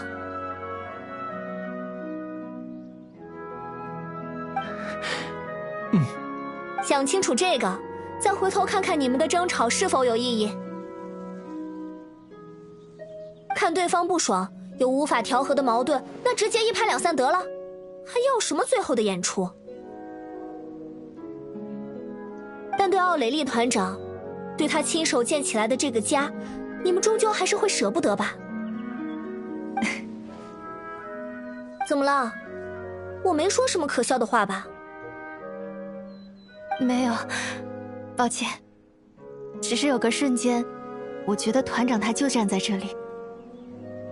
要是他目睹了刚刚的那一幕，一定也会像这样厉声训斥的。真的吗？我还以为他是个很温柔的人呢。当然是啊，只不过，外在的严厉也能展现出内在的温柔。他的优秀之处真的数不胜数。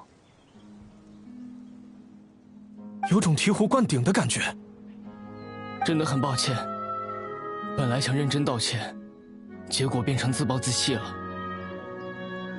行了，这种话等我们演完了再说吧。所以结局要怎么办呢？当然是从舞台之上暂时退场，回顾在情感的激流之中究竟忽视了什么。故事的结局应该回归到奥蕾丽团长本人的身上，他才是唯一的主演。你是说？对，你们曾经在水下找回了少女连环失踪案受害者们的遗物。如果能找到奥雷利团长当时留下的物品，说不定就能知道他当时的心情。居然还有这种东西！将团长的真实心情作为《水的女儿》这个故事的结局，应该没有人会质疑吧？嗯，那就拜托你们了。走吧，我们去莫芒宫看看。你们就回排练的地方等我们的好消息吧。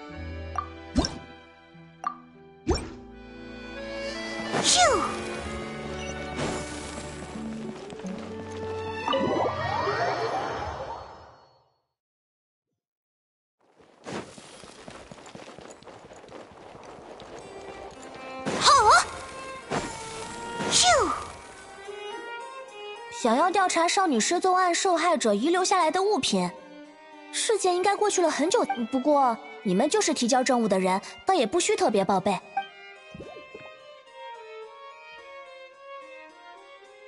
这就是奥雷利团长留下的东西，除了随身物品以外，只有一本很破旧的笔记本，写满了台词呢，还有一些简笔画。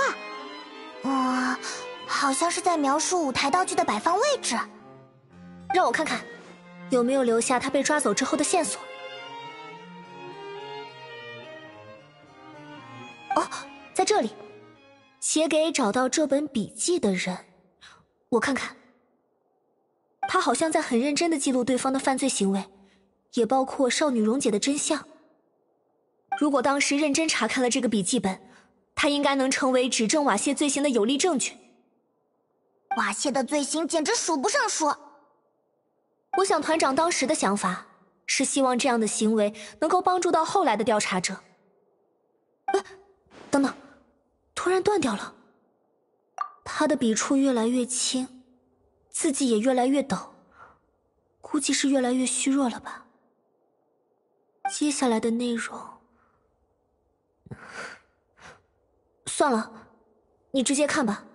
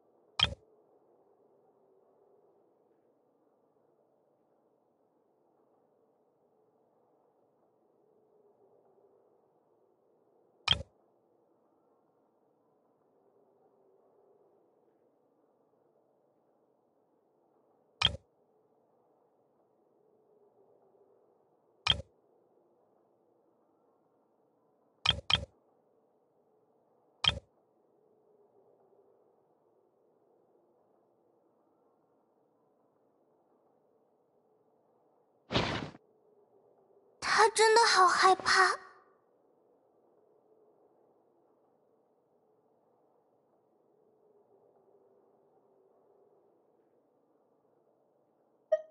剧团成员眼中无比伟大的英雄，也只是普通人而已。很难想象他在那时有多么痛苦与孤独。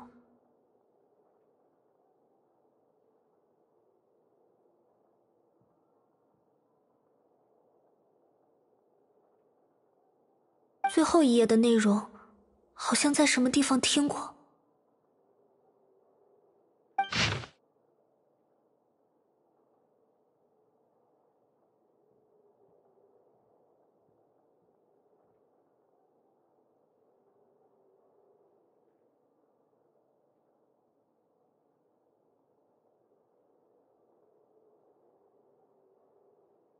成为人类，就意味着隐藏秘密，经历痛苦与孤独相伴。即便如此，你也愿意吗？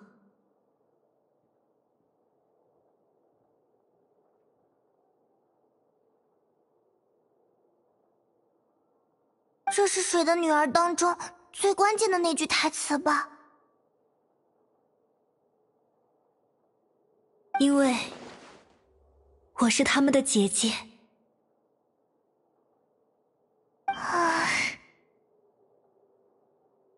他没有后悔呢。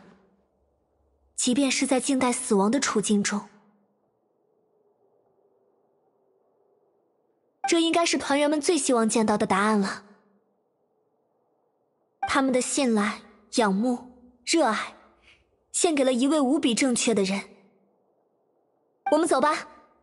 让他们也知晓奥雷利团长最后的想法。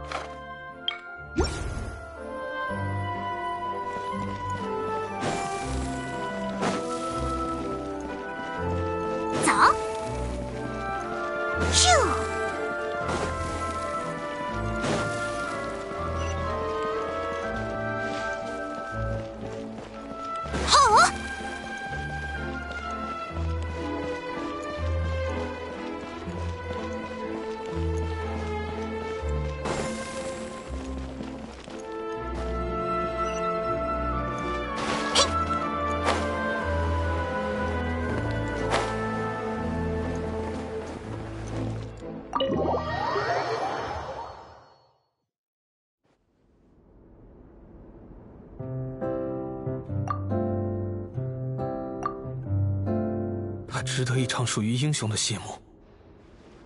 即便是用这种形式把他的所作所为告诉观众，也是有意义的。即便是在生命的最后时刻，他也不忘留下重要的线索。他希望保护尽可能多的人，哪怕是牺牲自己。那么水的女儿会如何选择，应该也不用再讨论了。你呢？过去的事暂且不论，你还能坚持演出吗？我会把我的歉意融入表演之中，为他献上最好的舞台。不需要你们原谅我，我的情绪也不重要。这是属于奥蕾利团长的谢幕。看来所有人都达成共识了呢。我有预感，这会是一场前所未有的精彩演出。明明你都没看过他们表演呢，话说这么满没问题嘛？哼哼，别小看我的阅历哦，我看过那么多音乐剧，得出了一个经验：想要用歌声打动观众，就要投入到自身的角色中，融入最充沛的感情。这世间最为精彩的，不就是属于人类的爱恨情仇吗？我相信不会有谁比他们更想把这场戏演好。谢谢弗宁娜女士，谢谢你，能一直支持我们。那么我们也不要耽误时间，来讨论结局的内容吧，尽快把它定下来。在这之前，我有个提议，在谢幕的时候，请允许我使用团长，而不是我自己的名字。啊？可是这样的话，本来这个角色也是应该由团长出演的，我也只是顶替了他的角色而已。如此有纪念意义的主角，也应该配上他的名字。这个，如果你自己不在乎的话，那我也没有意见。现在你们才有一个剧团应该有的气氛嘛？那你们就把演出相关的事做到最好。我去帮你们安排舞台。安排舞台？哦，我们平时演出的地方不用特别去预约。说什么呢？普通的舞台怎么行？当然要在欧比克莱歌剧院演出才行啊！喂，等等！不行不行，再怎么说那种地方也太豪华了。为什么要害怕？难道你们觉得奥蕾莉团长的故事不配登上最好的舞台吗？倒不是那个意思，反正都是最后的舞台了，对吧？我没问题，你们呢？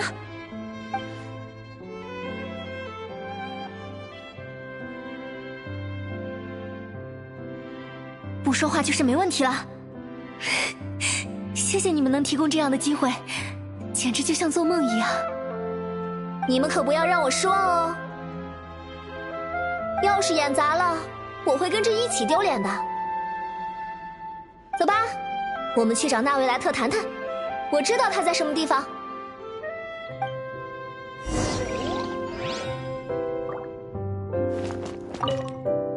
弗宁娜女士，接着又是欧比克莱歌剧院。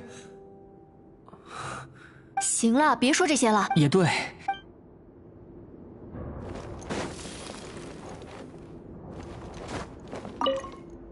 祝你们顺利。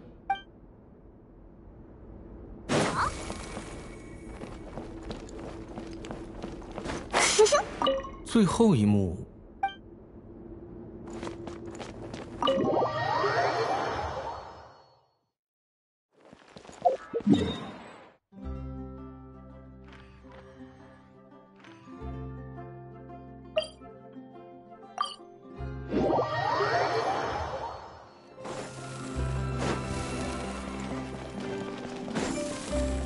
看，我果然没猜错。原来你也拿不准啊！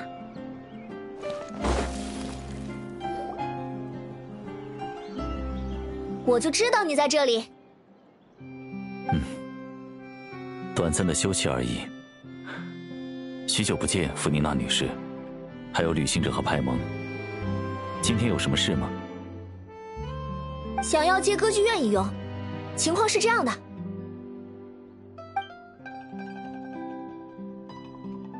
原来如此。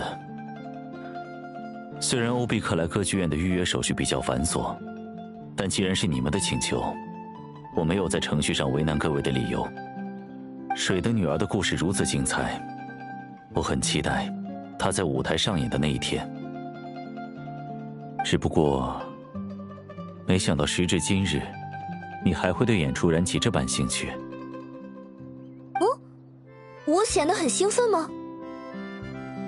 在你离开神位之后，还是第一次吧。本来也只是出于对他们的歉意，想要了解更多的情况，结果不知怎么就变成这样了。过去我们只是在审判庭上对某件独立的事件发表意见，却很难见到背后那些情感充沛的故事。可能是好不容易变成了普通人，让我对他们的生活有了很多好奇心吧。能见到你振作起来，我也由衷感到高兴。那么，在你受到鼓舞之后，有产生重归舞台的想法吗？怎么突然跳到这个话题上了？假设《水的女儿》演出大获成功，它就会成为经典剧目，会有很多剧团会进行重新演绎。剧中主角克里欧的经历与选择，都想以你为木板创作而生。你自然也是最适合的演员之一，不能借此机会让众人再欣赏一次你的演技，实属遗憾。我应该早就告诉过你，我不会再扮演任何角色了，一次都不会。这没什么遗憾的，无论台上台下，永远不会缺少闪光的演员与故事。就像这次一样，我感觉收获颇丰。已经值回票价了呢，甚至会有些羡慕，这帮人竟然能以如此华丽而盛大的方式与过去告别。原来是这样，你正在享受新的舞台，那我也放心了。我衷心祝愿这场演出能完美收场。哦，我这就请人去安排日程，决定下来之后，会将相关信件寄到剧团。谢谢你了，纳维莱特。不必客气。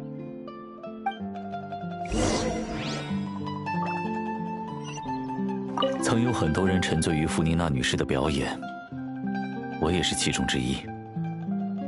希望她能感受到，这种喜爱，并非虚假之物。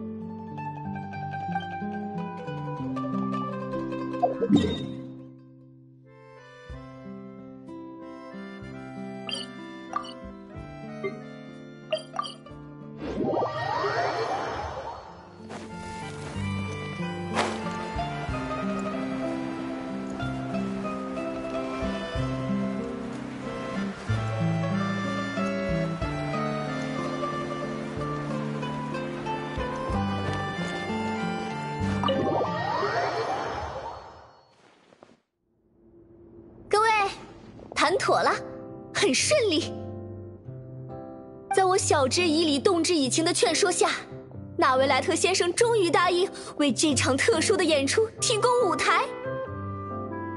虽然能争取到这样的机会真的很辛苦，但我们终于凑齐了一场精彩演出的所有要素：感人肺腑的故事，庄严宏大的舞台以及情感充沛的演员们。让我们共同努力，做到最好吧。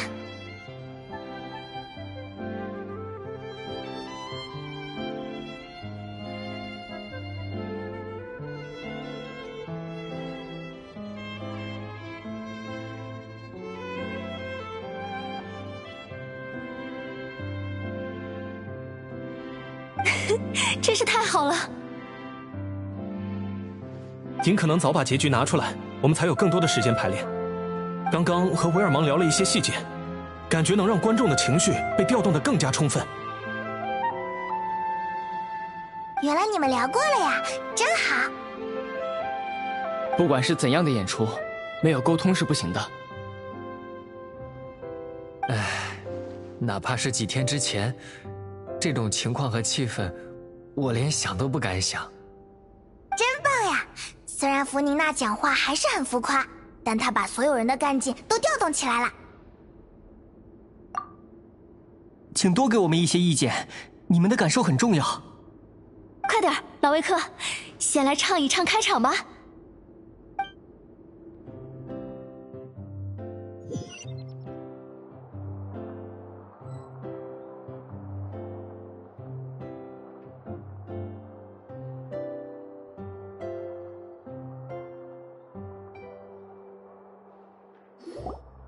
被诅咒的科里欧，将生命之水全都带走。他是骗子，他是罪人，这和他无关。愚昧与暴力的诸人，怎样才能赢回水的青睐？这个人还有利用价值，科里欧会为他献身。远走高飞吧，永远不要回来，水的女儿啊！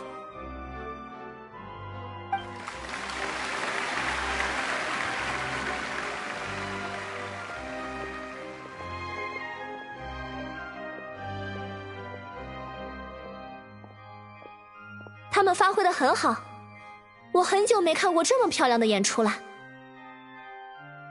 唉，可是怎么办？马上就轮到他登场了，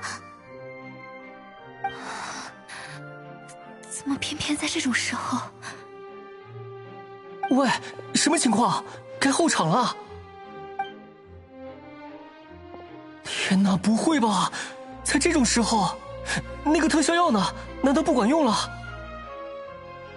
那个药效果越来越不好，我只能不停的加大剂量。什么？原来不是治疗用的，只是缓解症状的药吗？撑过这场演出，怎么样都行。你呀，你呀，你这才是不把身体当回事。对不起。辜负了大家的努力，你现在也不是吵架的时候，没有主演，这戏还怎么收场？弗宁娜女士，我有个请求。行了，病了就好好休息吧。我知道你想说什么。喂。接下来你不用登台对吧？呃，我吗？是的，我的戏份已经结束了，虽然还有一句台词，但应该……那麻烦你把他送回去养病，最后一场我来唱。唉，搞什么？最后还是变成这样了。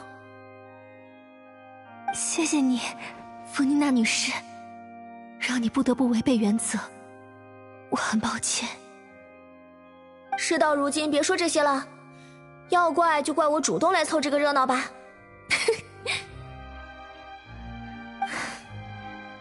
没有人喜欢遗憾，包括我在内。交给我吧，看你们排练了那么多遍，克利欧的戏份我也很熟悉了。我完全不怀疑你的演技。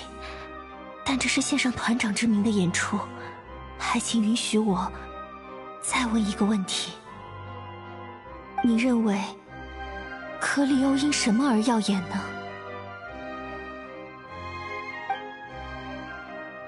因为他很单纯吧？即便承受了许多痛苦与孤独，他也不曾质疑世界的美好。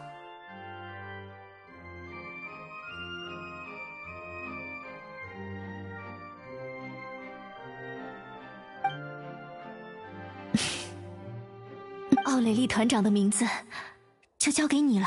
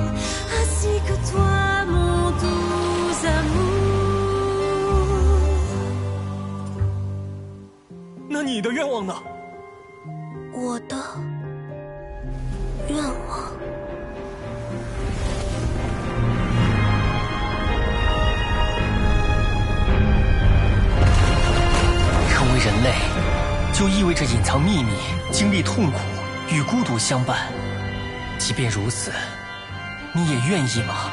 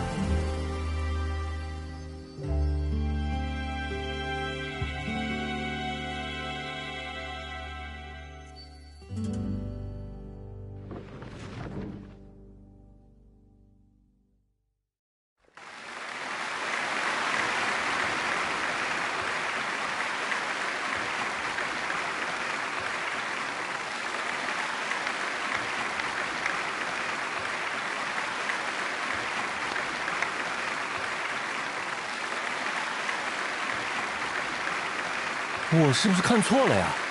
那个人是弗妮娜大人吧？他消失了好久，居然又突然出现了。不过他的演出水平丝毫没有退步，还是和以前一样厉害啊！水的女儿科利欧，饰演者奥蕾莉·菲莫女士。名字不对啊，怎么回事？不知道。我消失了很长时间，这里也没有我的名字，估计不会被很多人认出来吧。但就算是迫不得已，好不容易定下的原则还是被破坏了，真是可惜。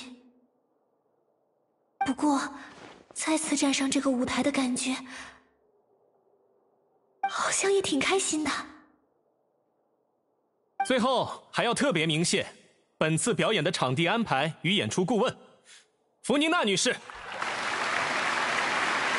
喂，这和说好的不一样啊！你看，果然是弗妮娜吧？她回来了。啊，真是的，也不跟我商量一下。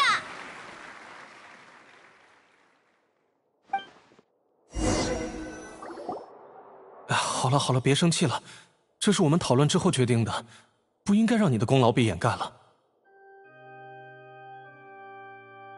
这是枫丹自古以来的规矩，无论台前幕后，任何人的工作都应该被肯定。我知道是有这样的规矩，但是，但是，哎呀，要考虑实际情况啦，我还没准备好。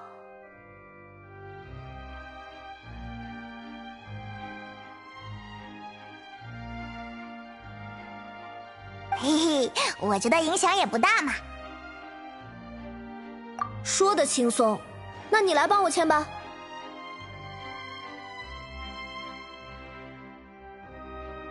比起这个，还是刚刚突发的情况把我吓坏了。我飞到预定的位置上，准备把神之眼道具扔下去，结果突然出现了一个真货。这个嘛，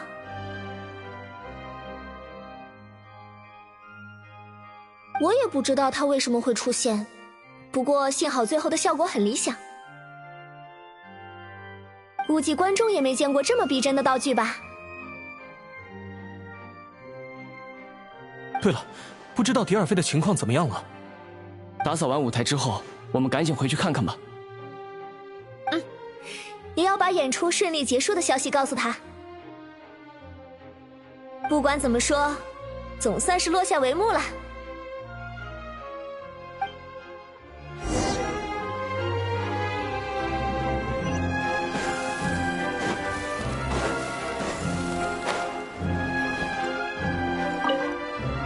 你们看到弗尼娜女士了吗？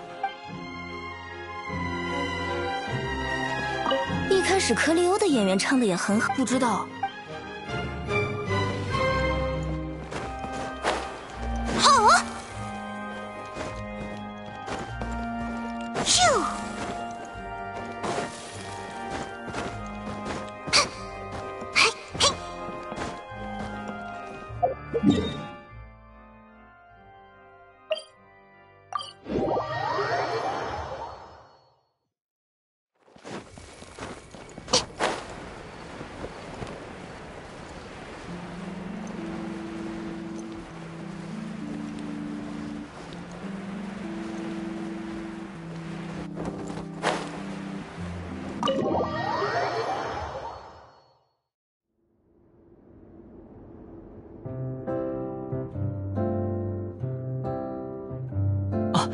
你们回来了。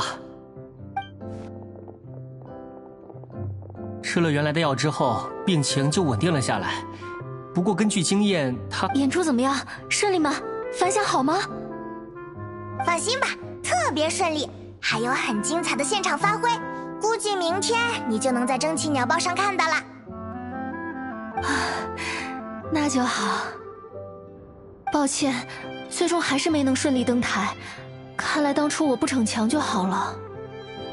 没关系，就像他们在谢幕的时候说的一样，任何人的工作都应该被肯定。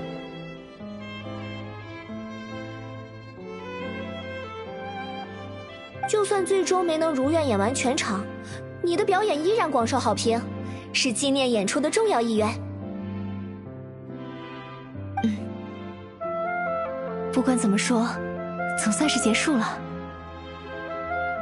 我从出生开始就没什么好运气，也没指望过人生能一帆风顺。能有这样的收场，已经很知足了。又开始怪运气，你要是少干点鲁莽的事，你的病也不至于反反复复的。你又来是吧？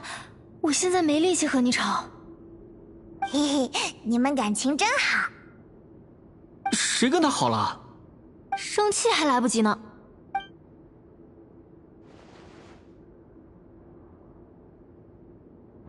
接下来你们准备干什么呢？这次演出的效果非常好，你们的名声很快就会在枫丹传开，剧团不是非解散不可。利用这次观众的强烈反响，如果把水的女儿授权给专业剧团，你们的经营情况也能大大改善。不。还是解散了吧。啊，都说好了。我也不应该和你们继续待在一起。有缘再见吧。喂，别走这么快呀！真是的。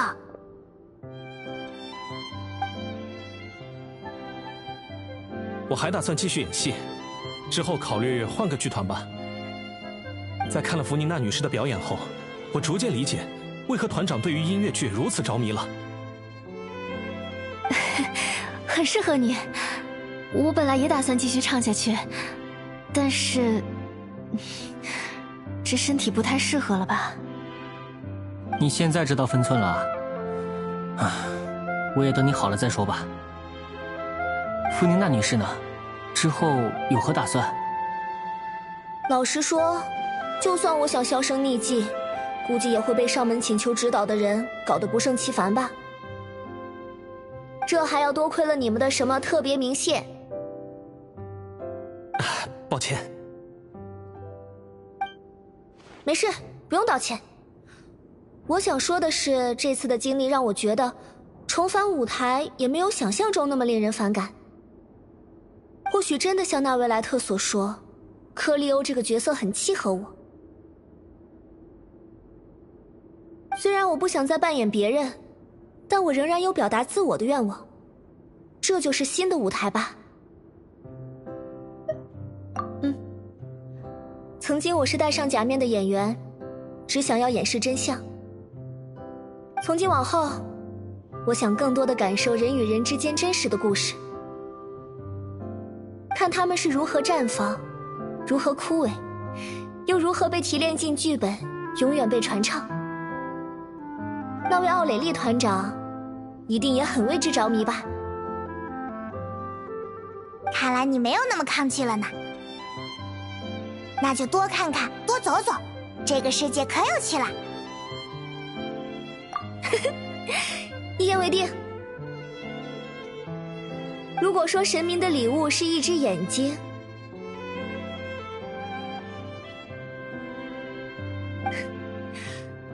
我确实不应该辜负他。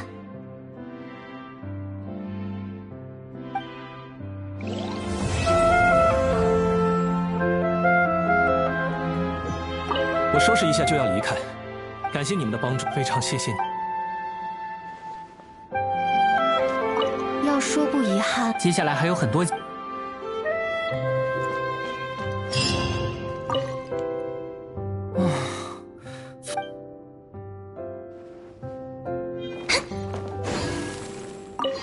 谢你们的帮助，也许已经太……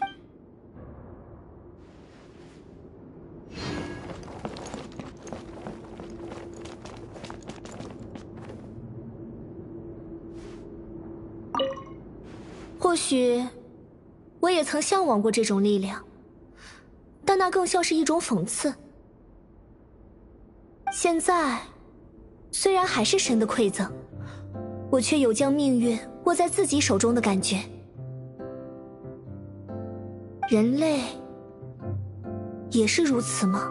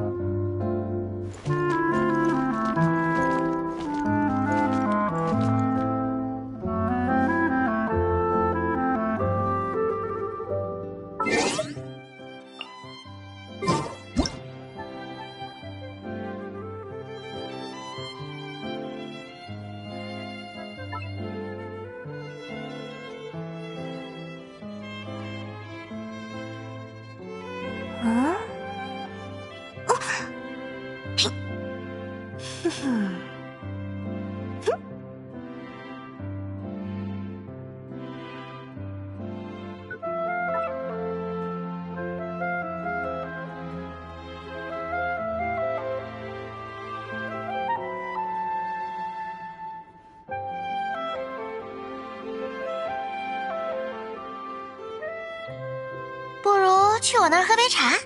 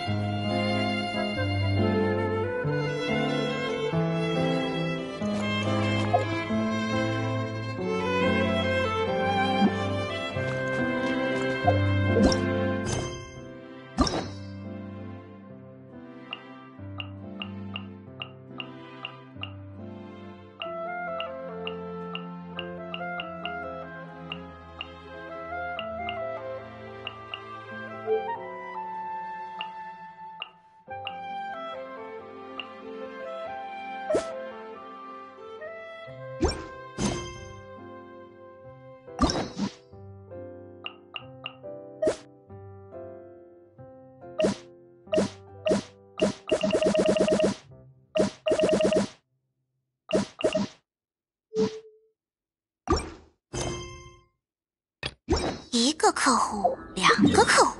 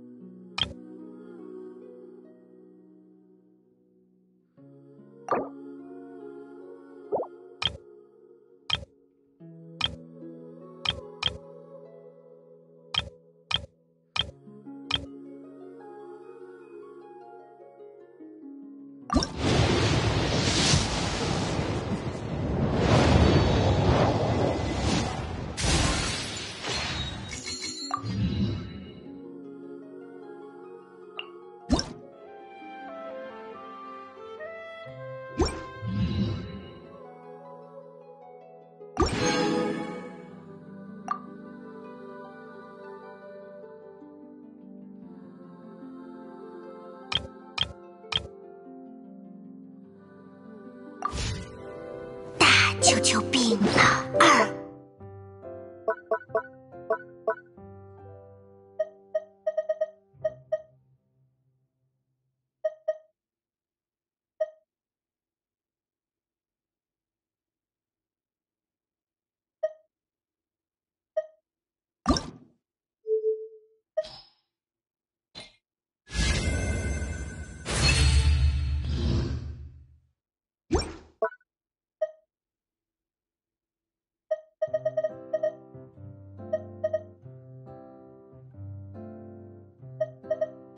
悄悄抢。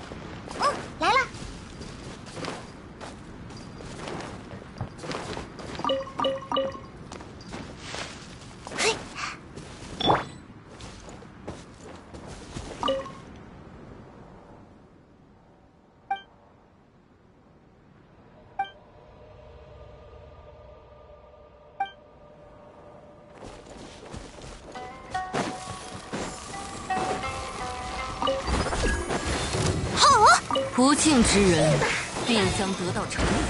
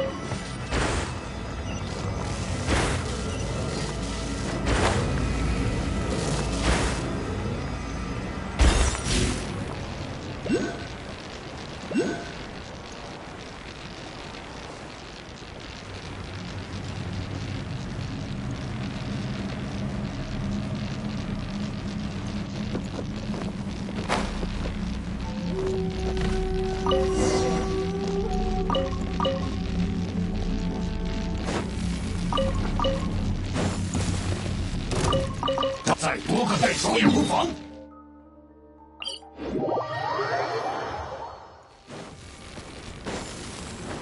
顺风顺水。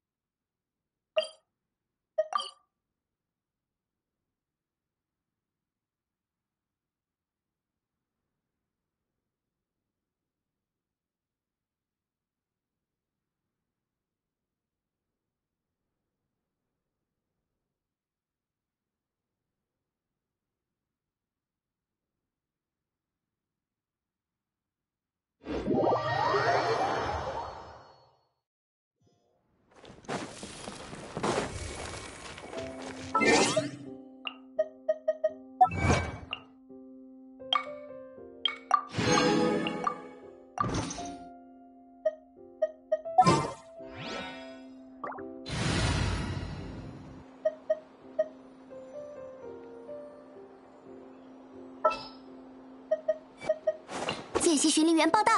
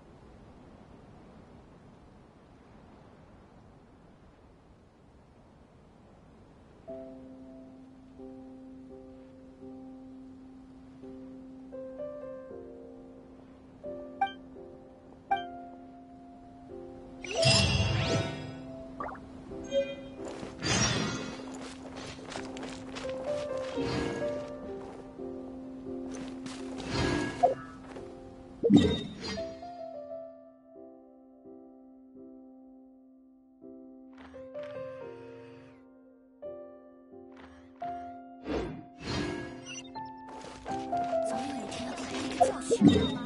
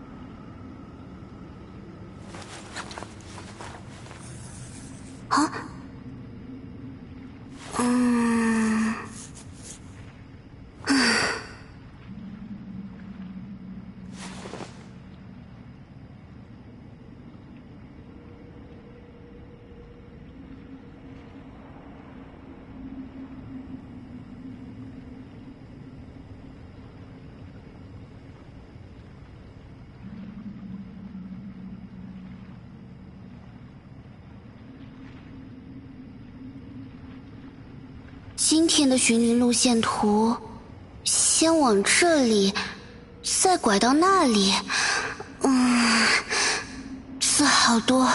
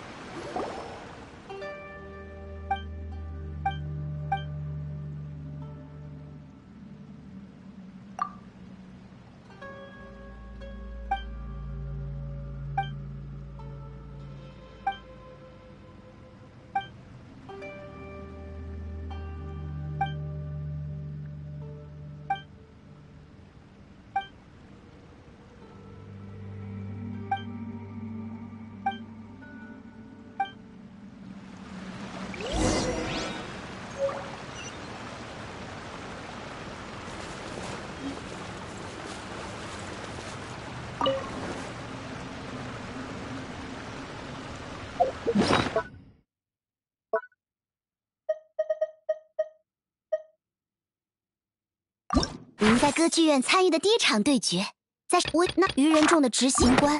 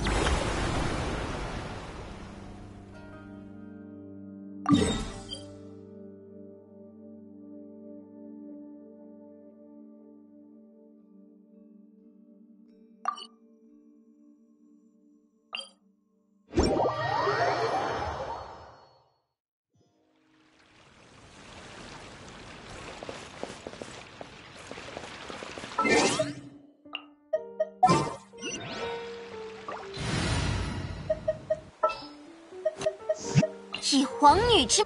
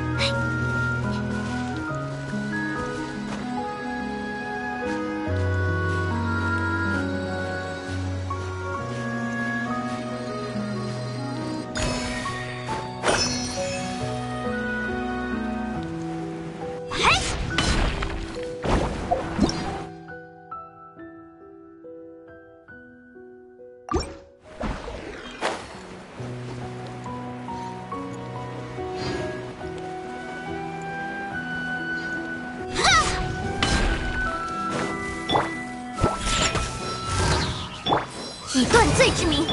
才，知师成景。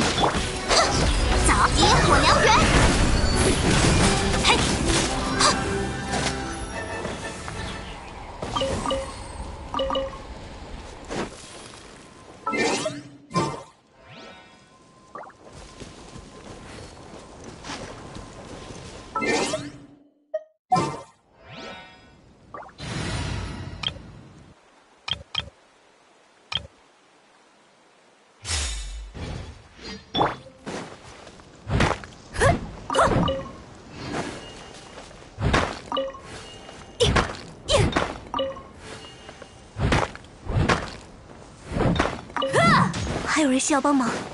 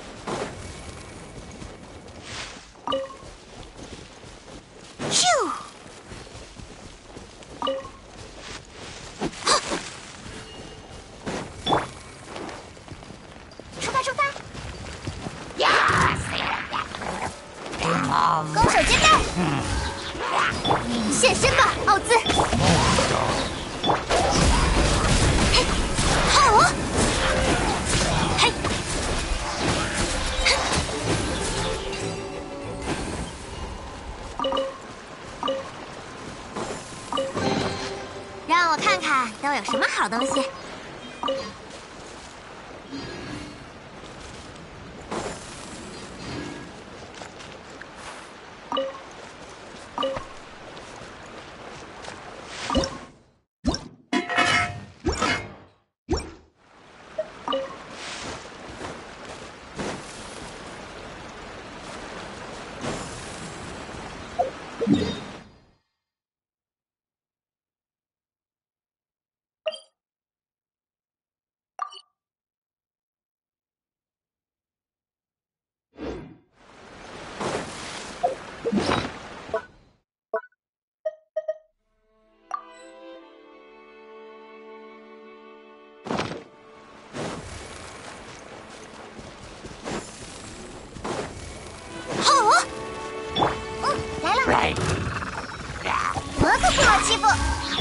以断罪之名断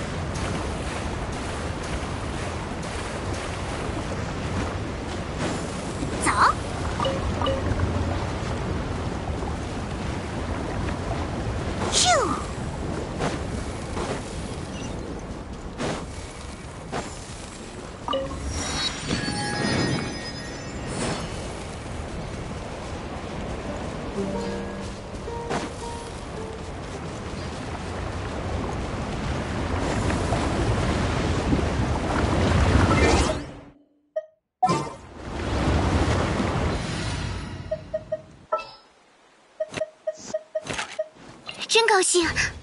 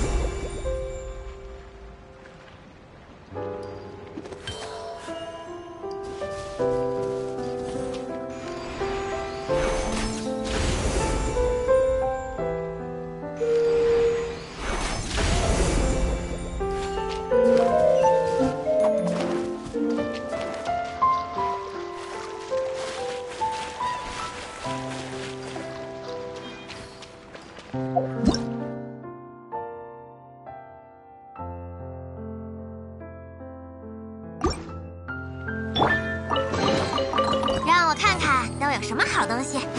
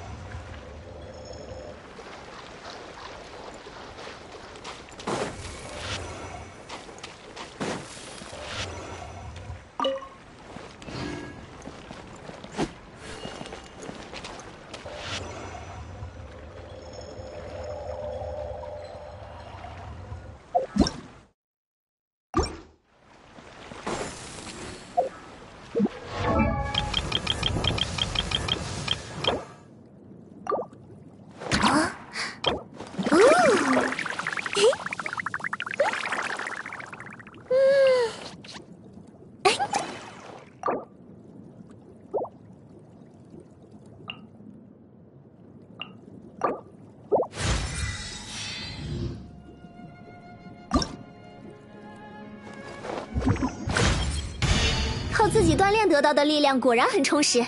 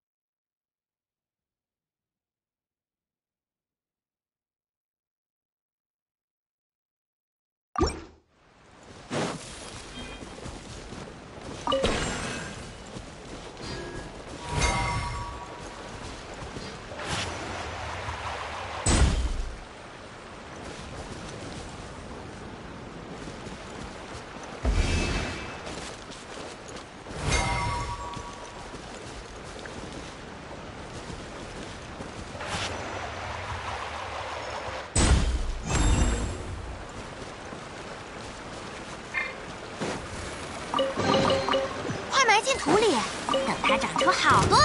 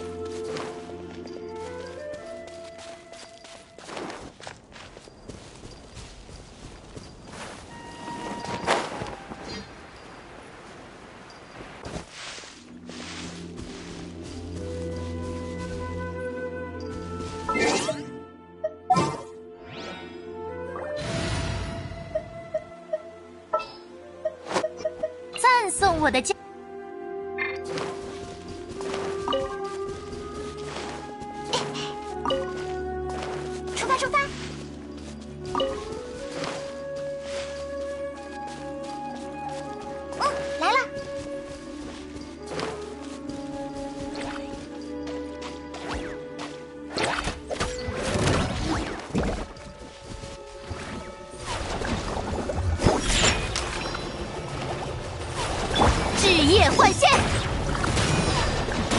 固化生命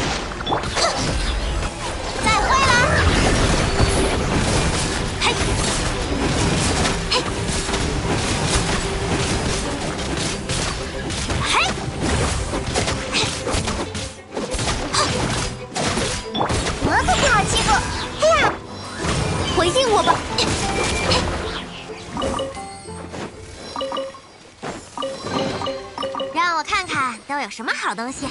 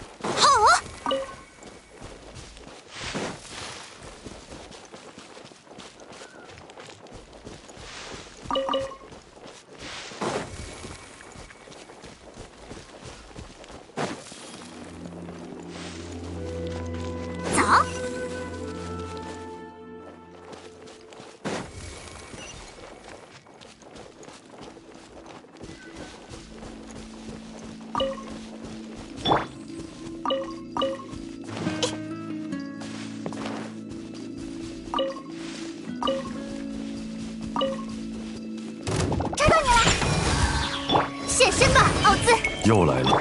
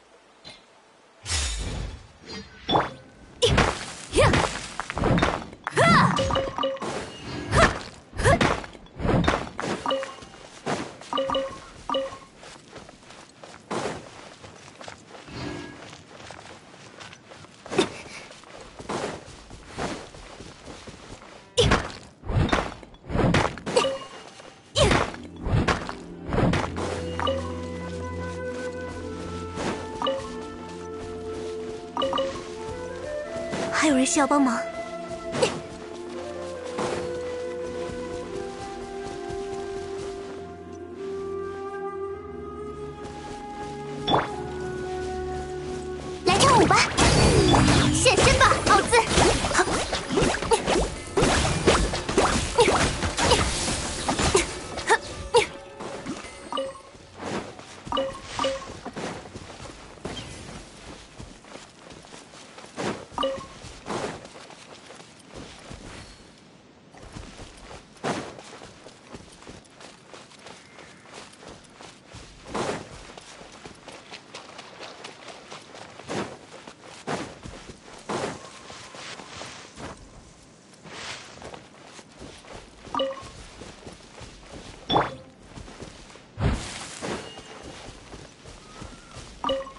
还有人需要帮忙。嘿。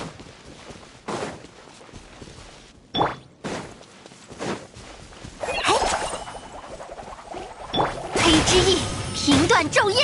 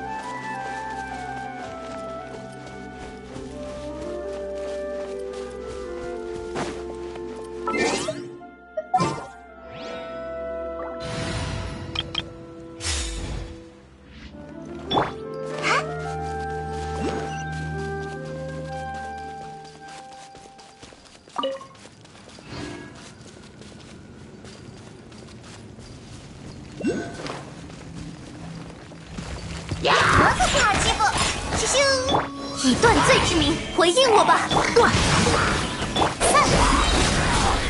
吃饱喝饱，一路走好。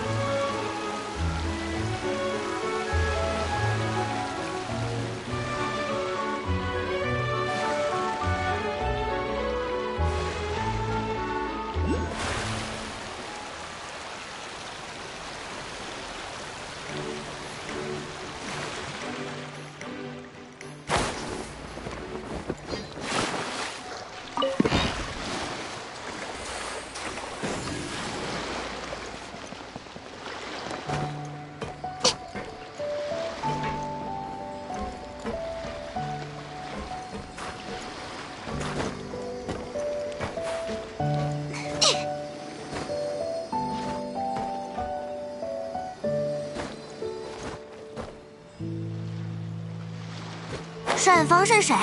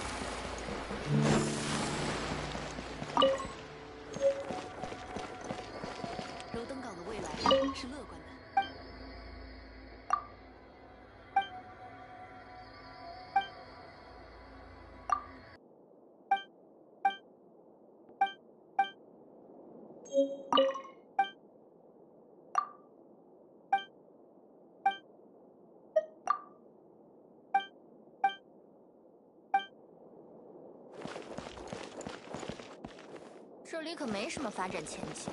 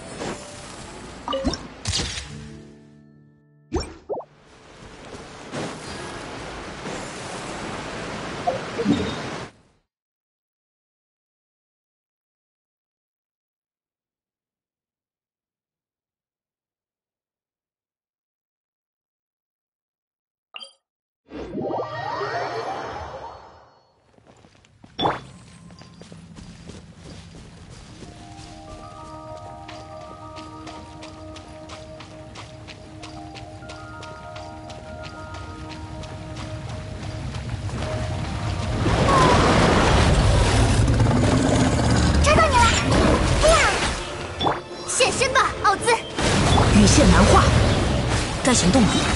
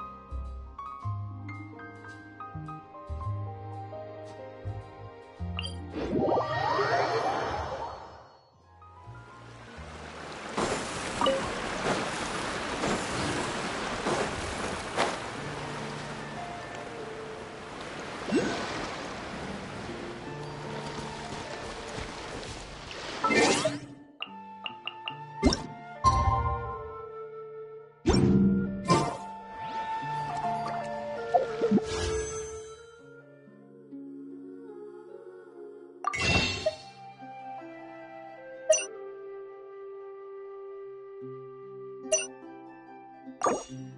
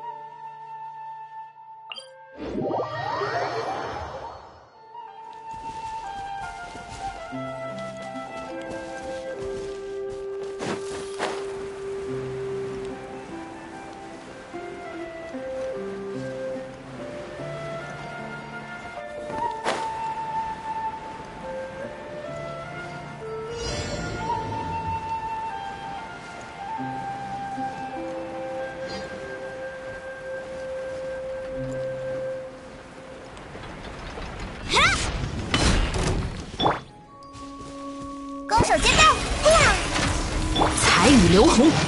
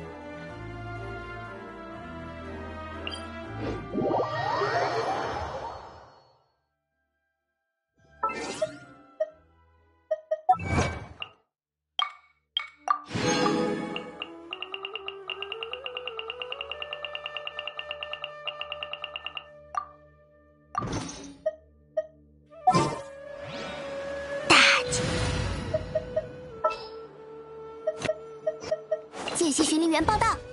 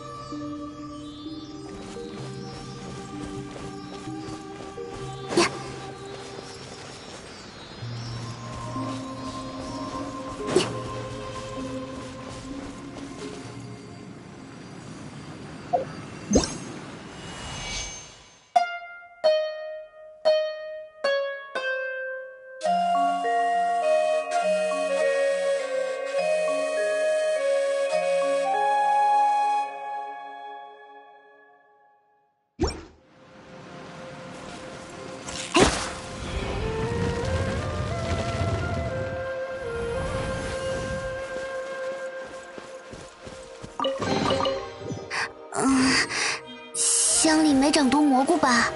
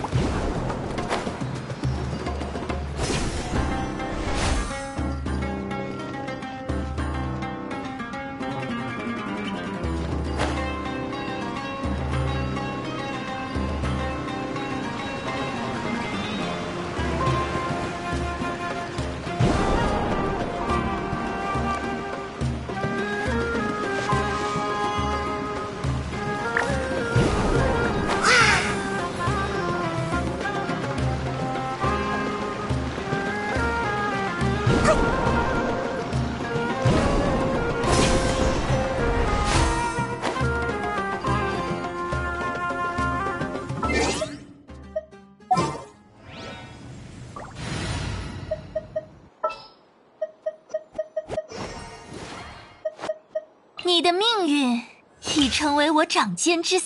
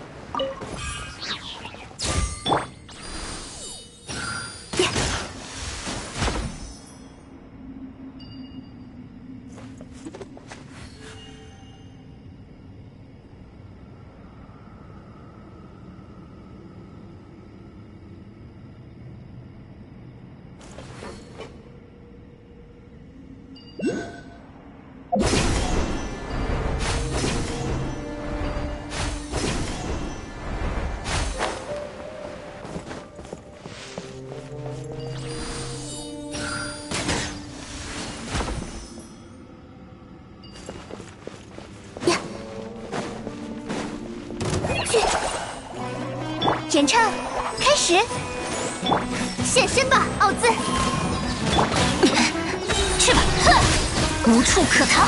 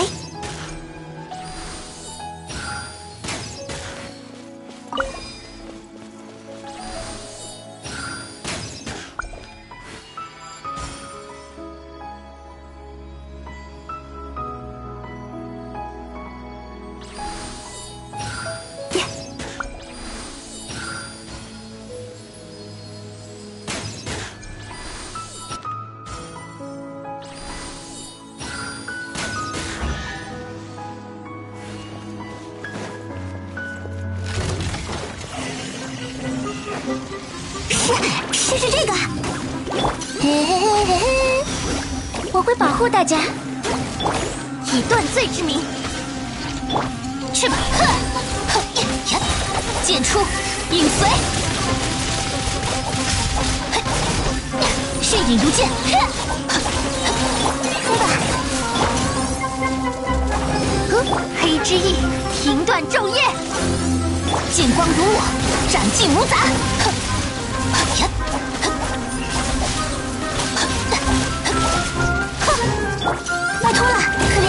演唱开始，哎，又来了！剑出，影随，可别眨眼！哼，去影之压，渴求幽夜，剑光如我，斩尽无杂。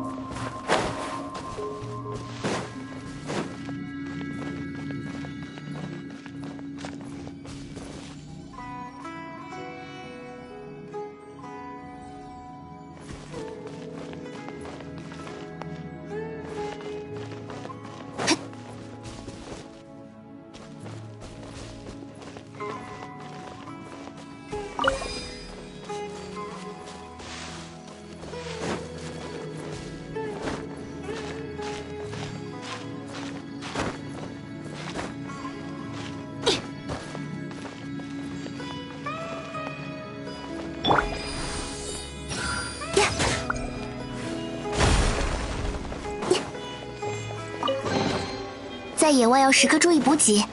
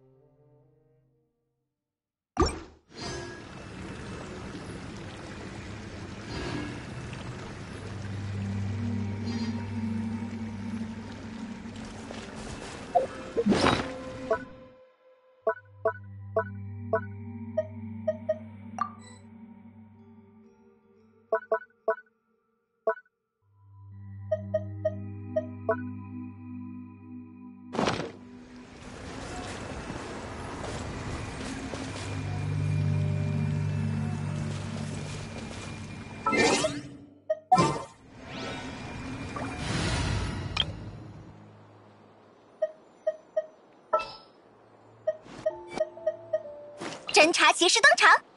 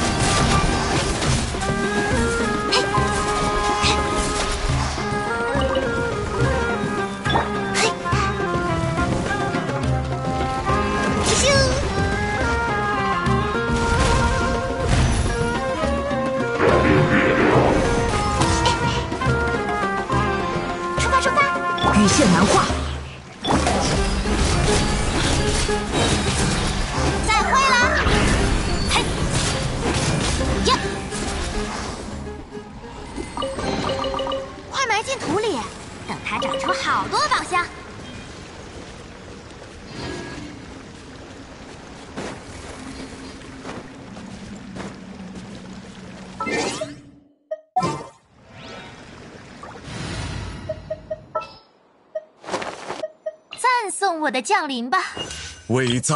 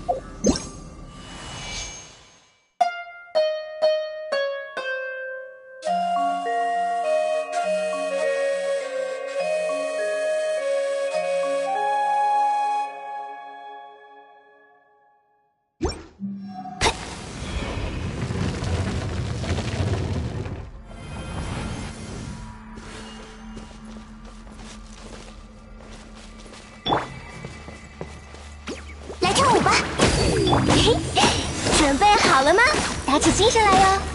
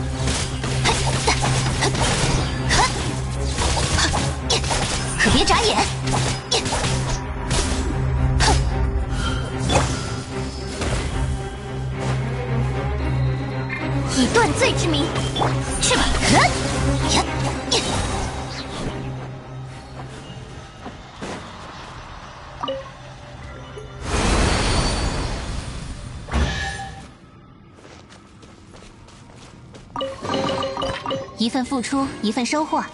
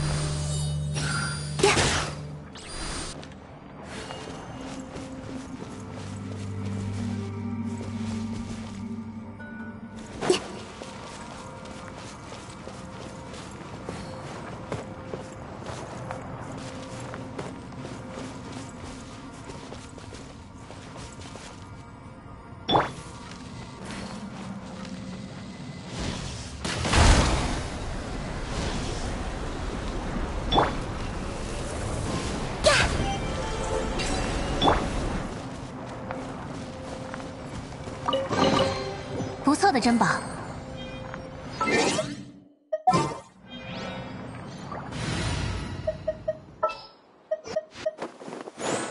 放心交给我就好。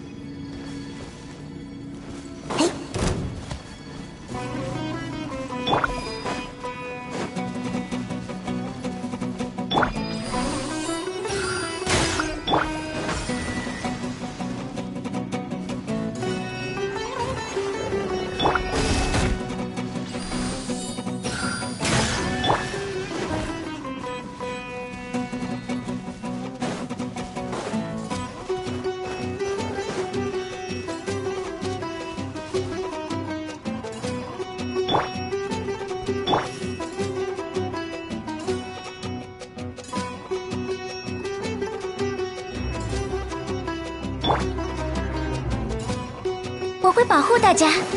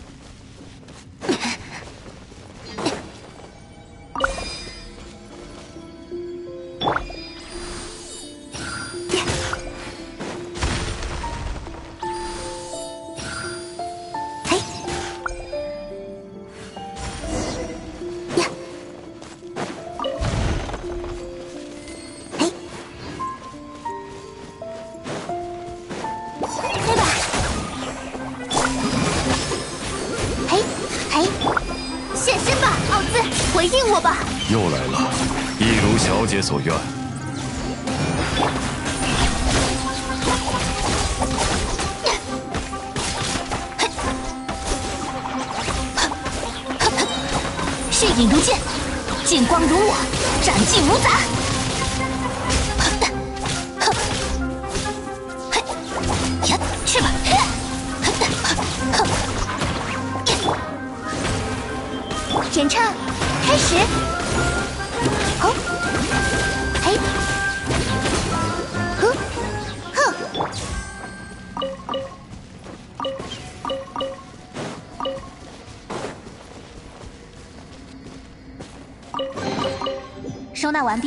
重新出发吧。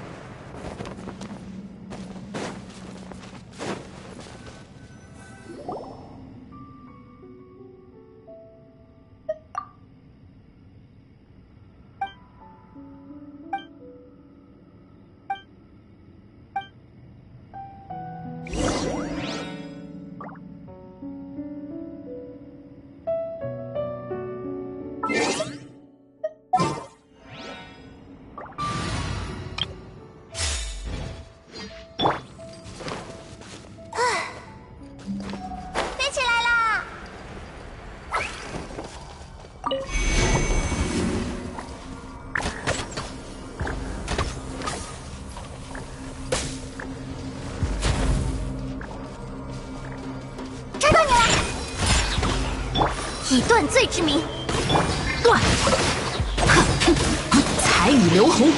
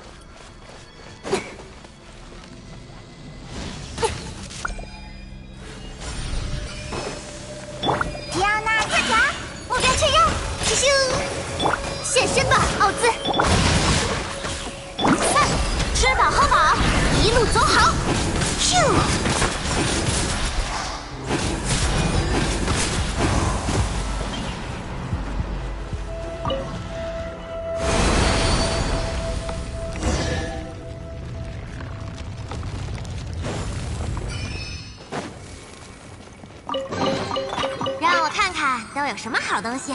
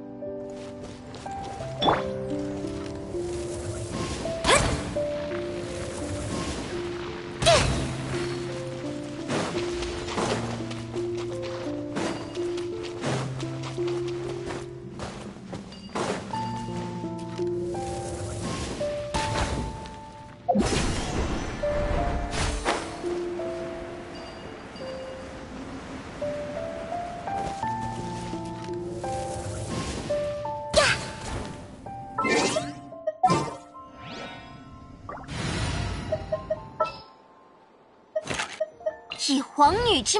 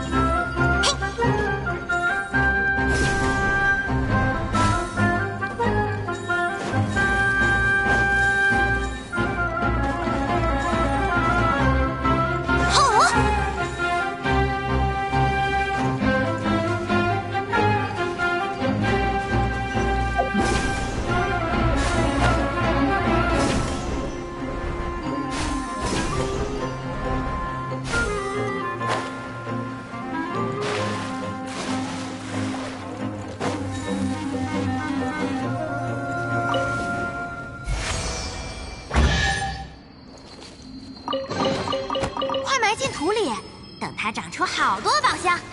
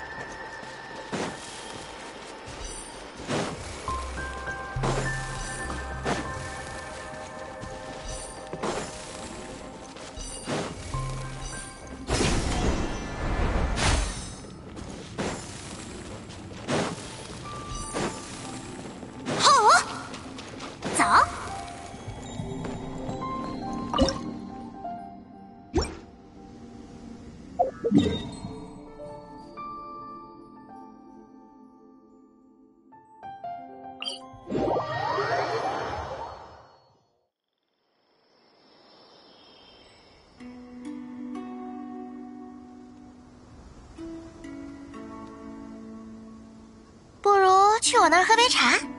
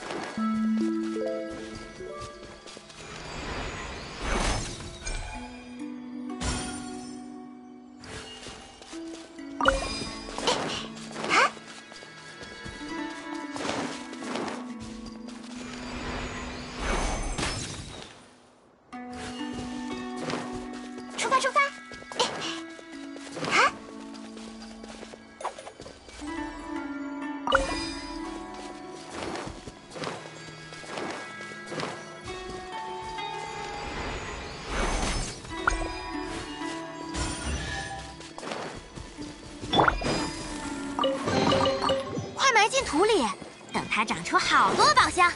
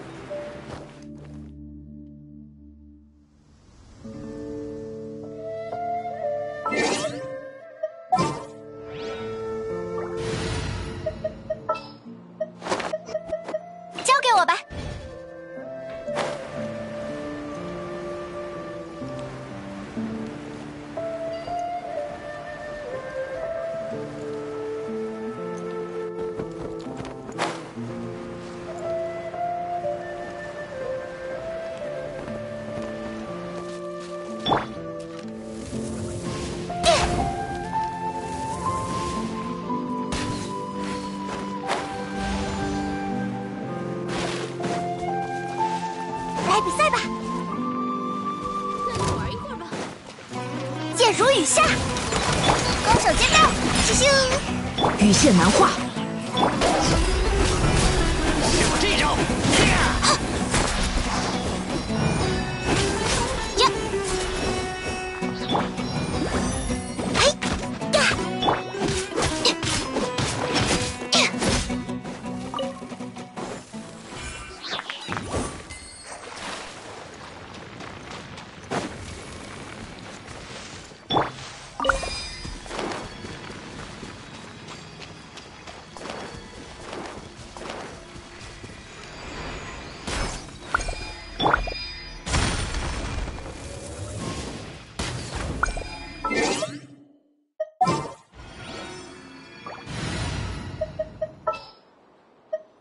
盲女之名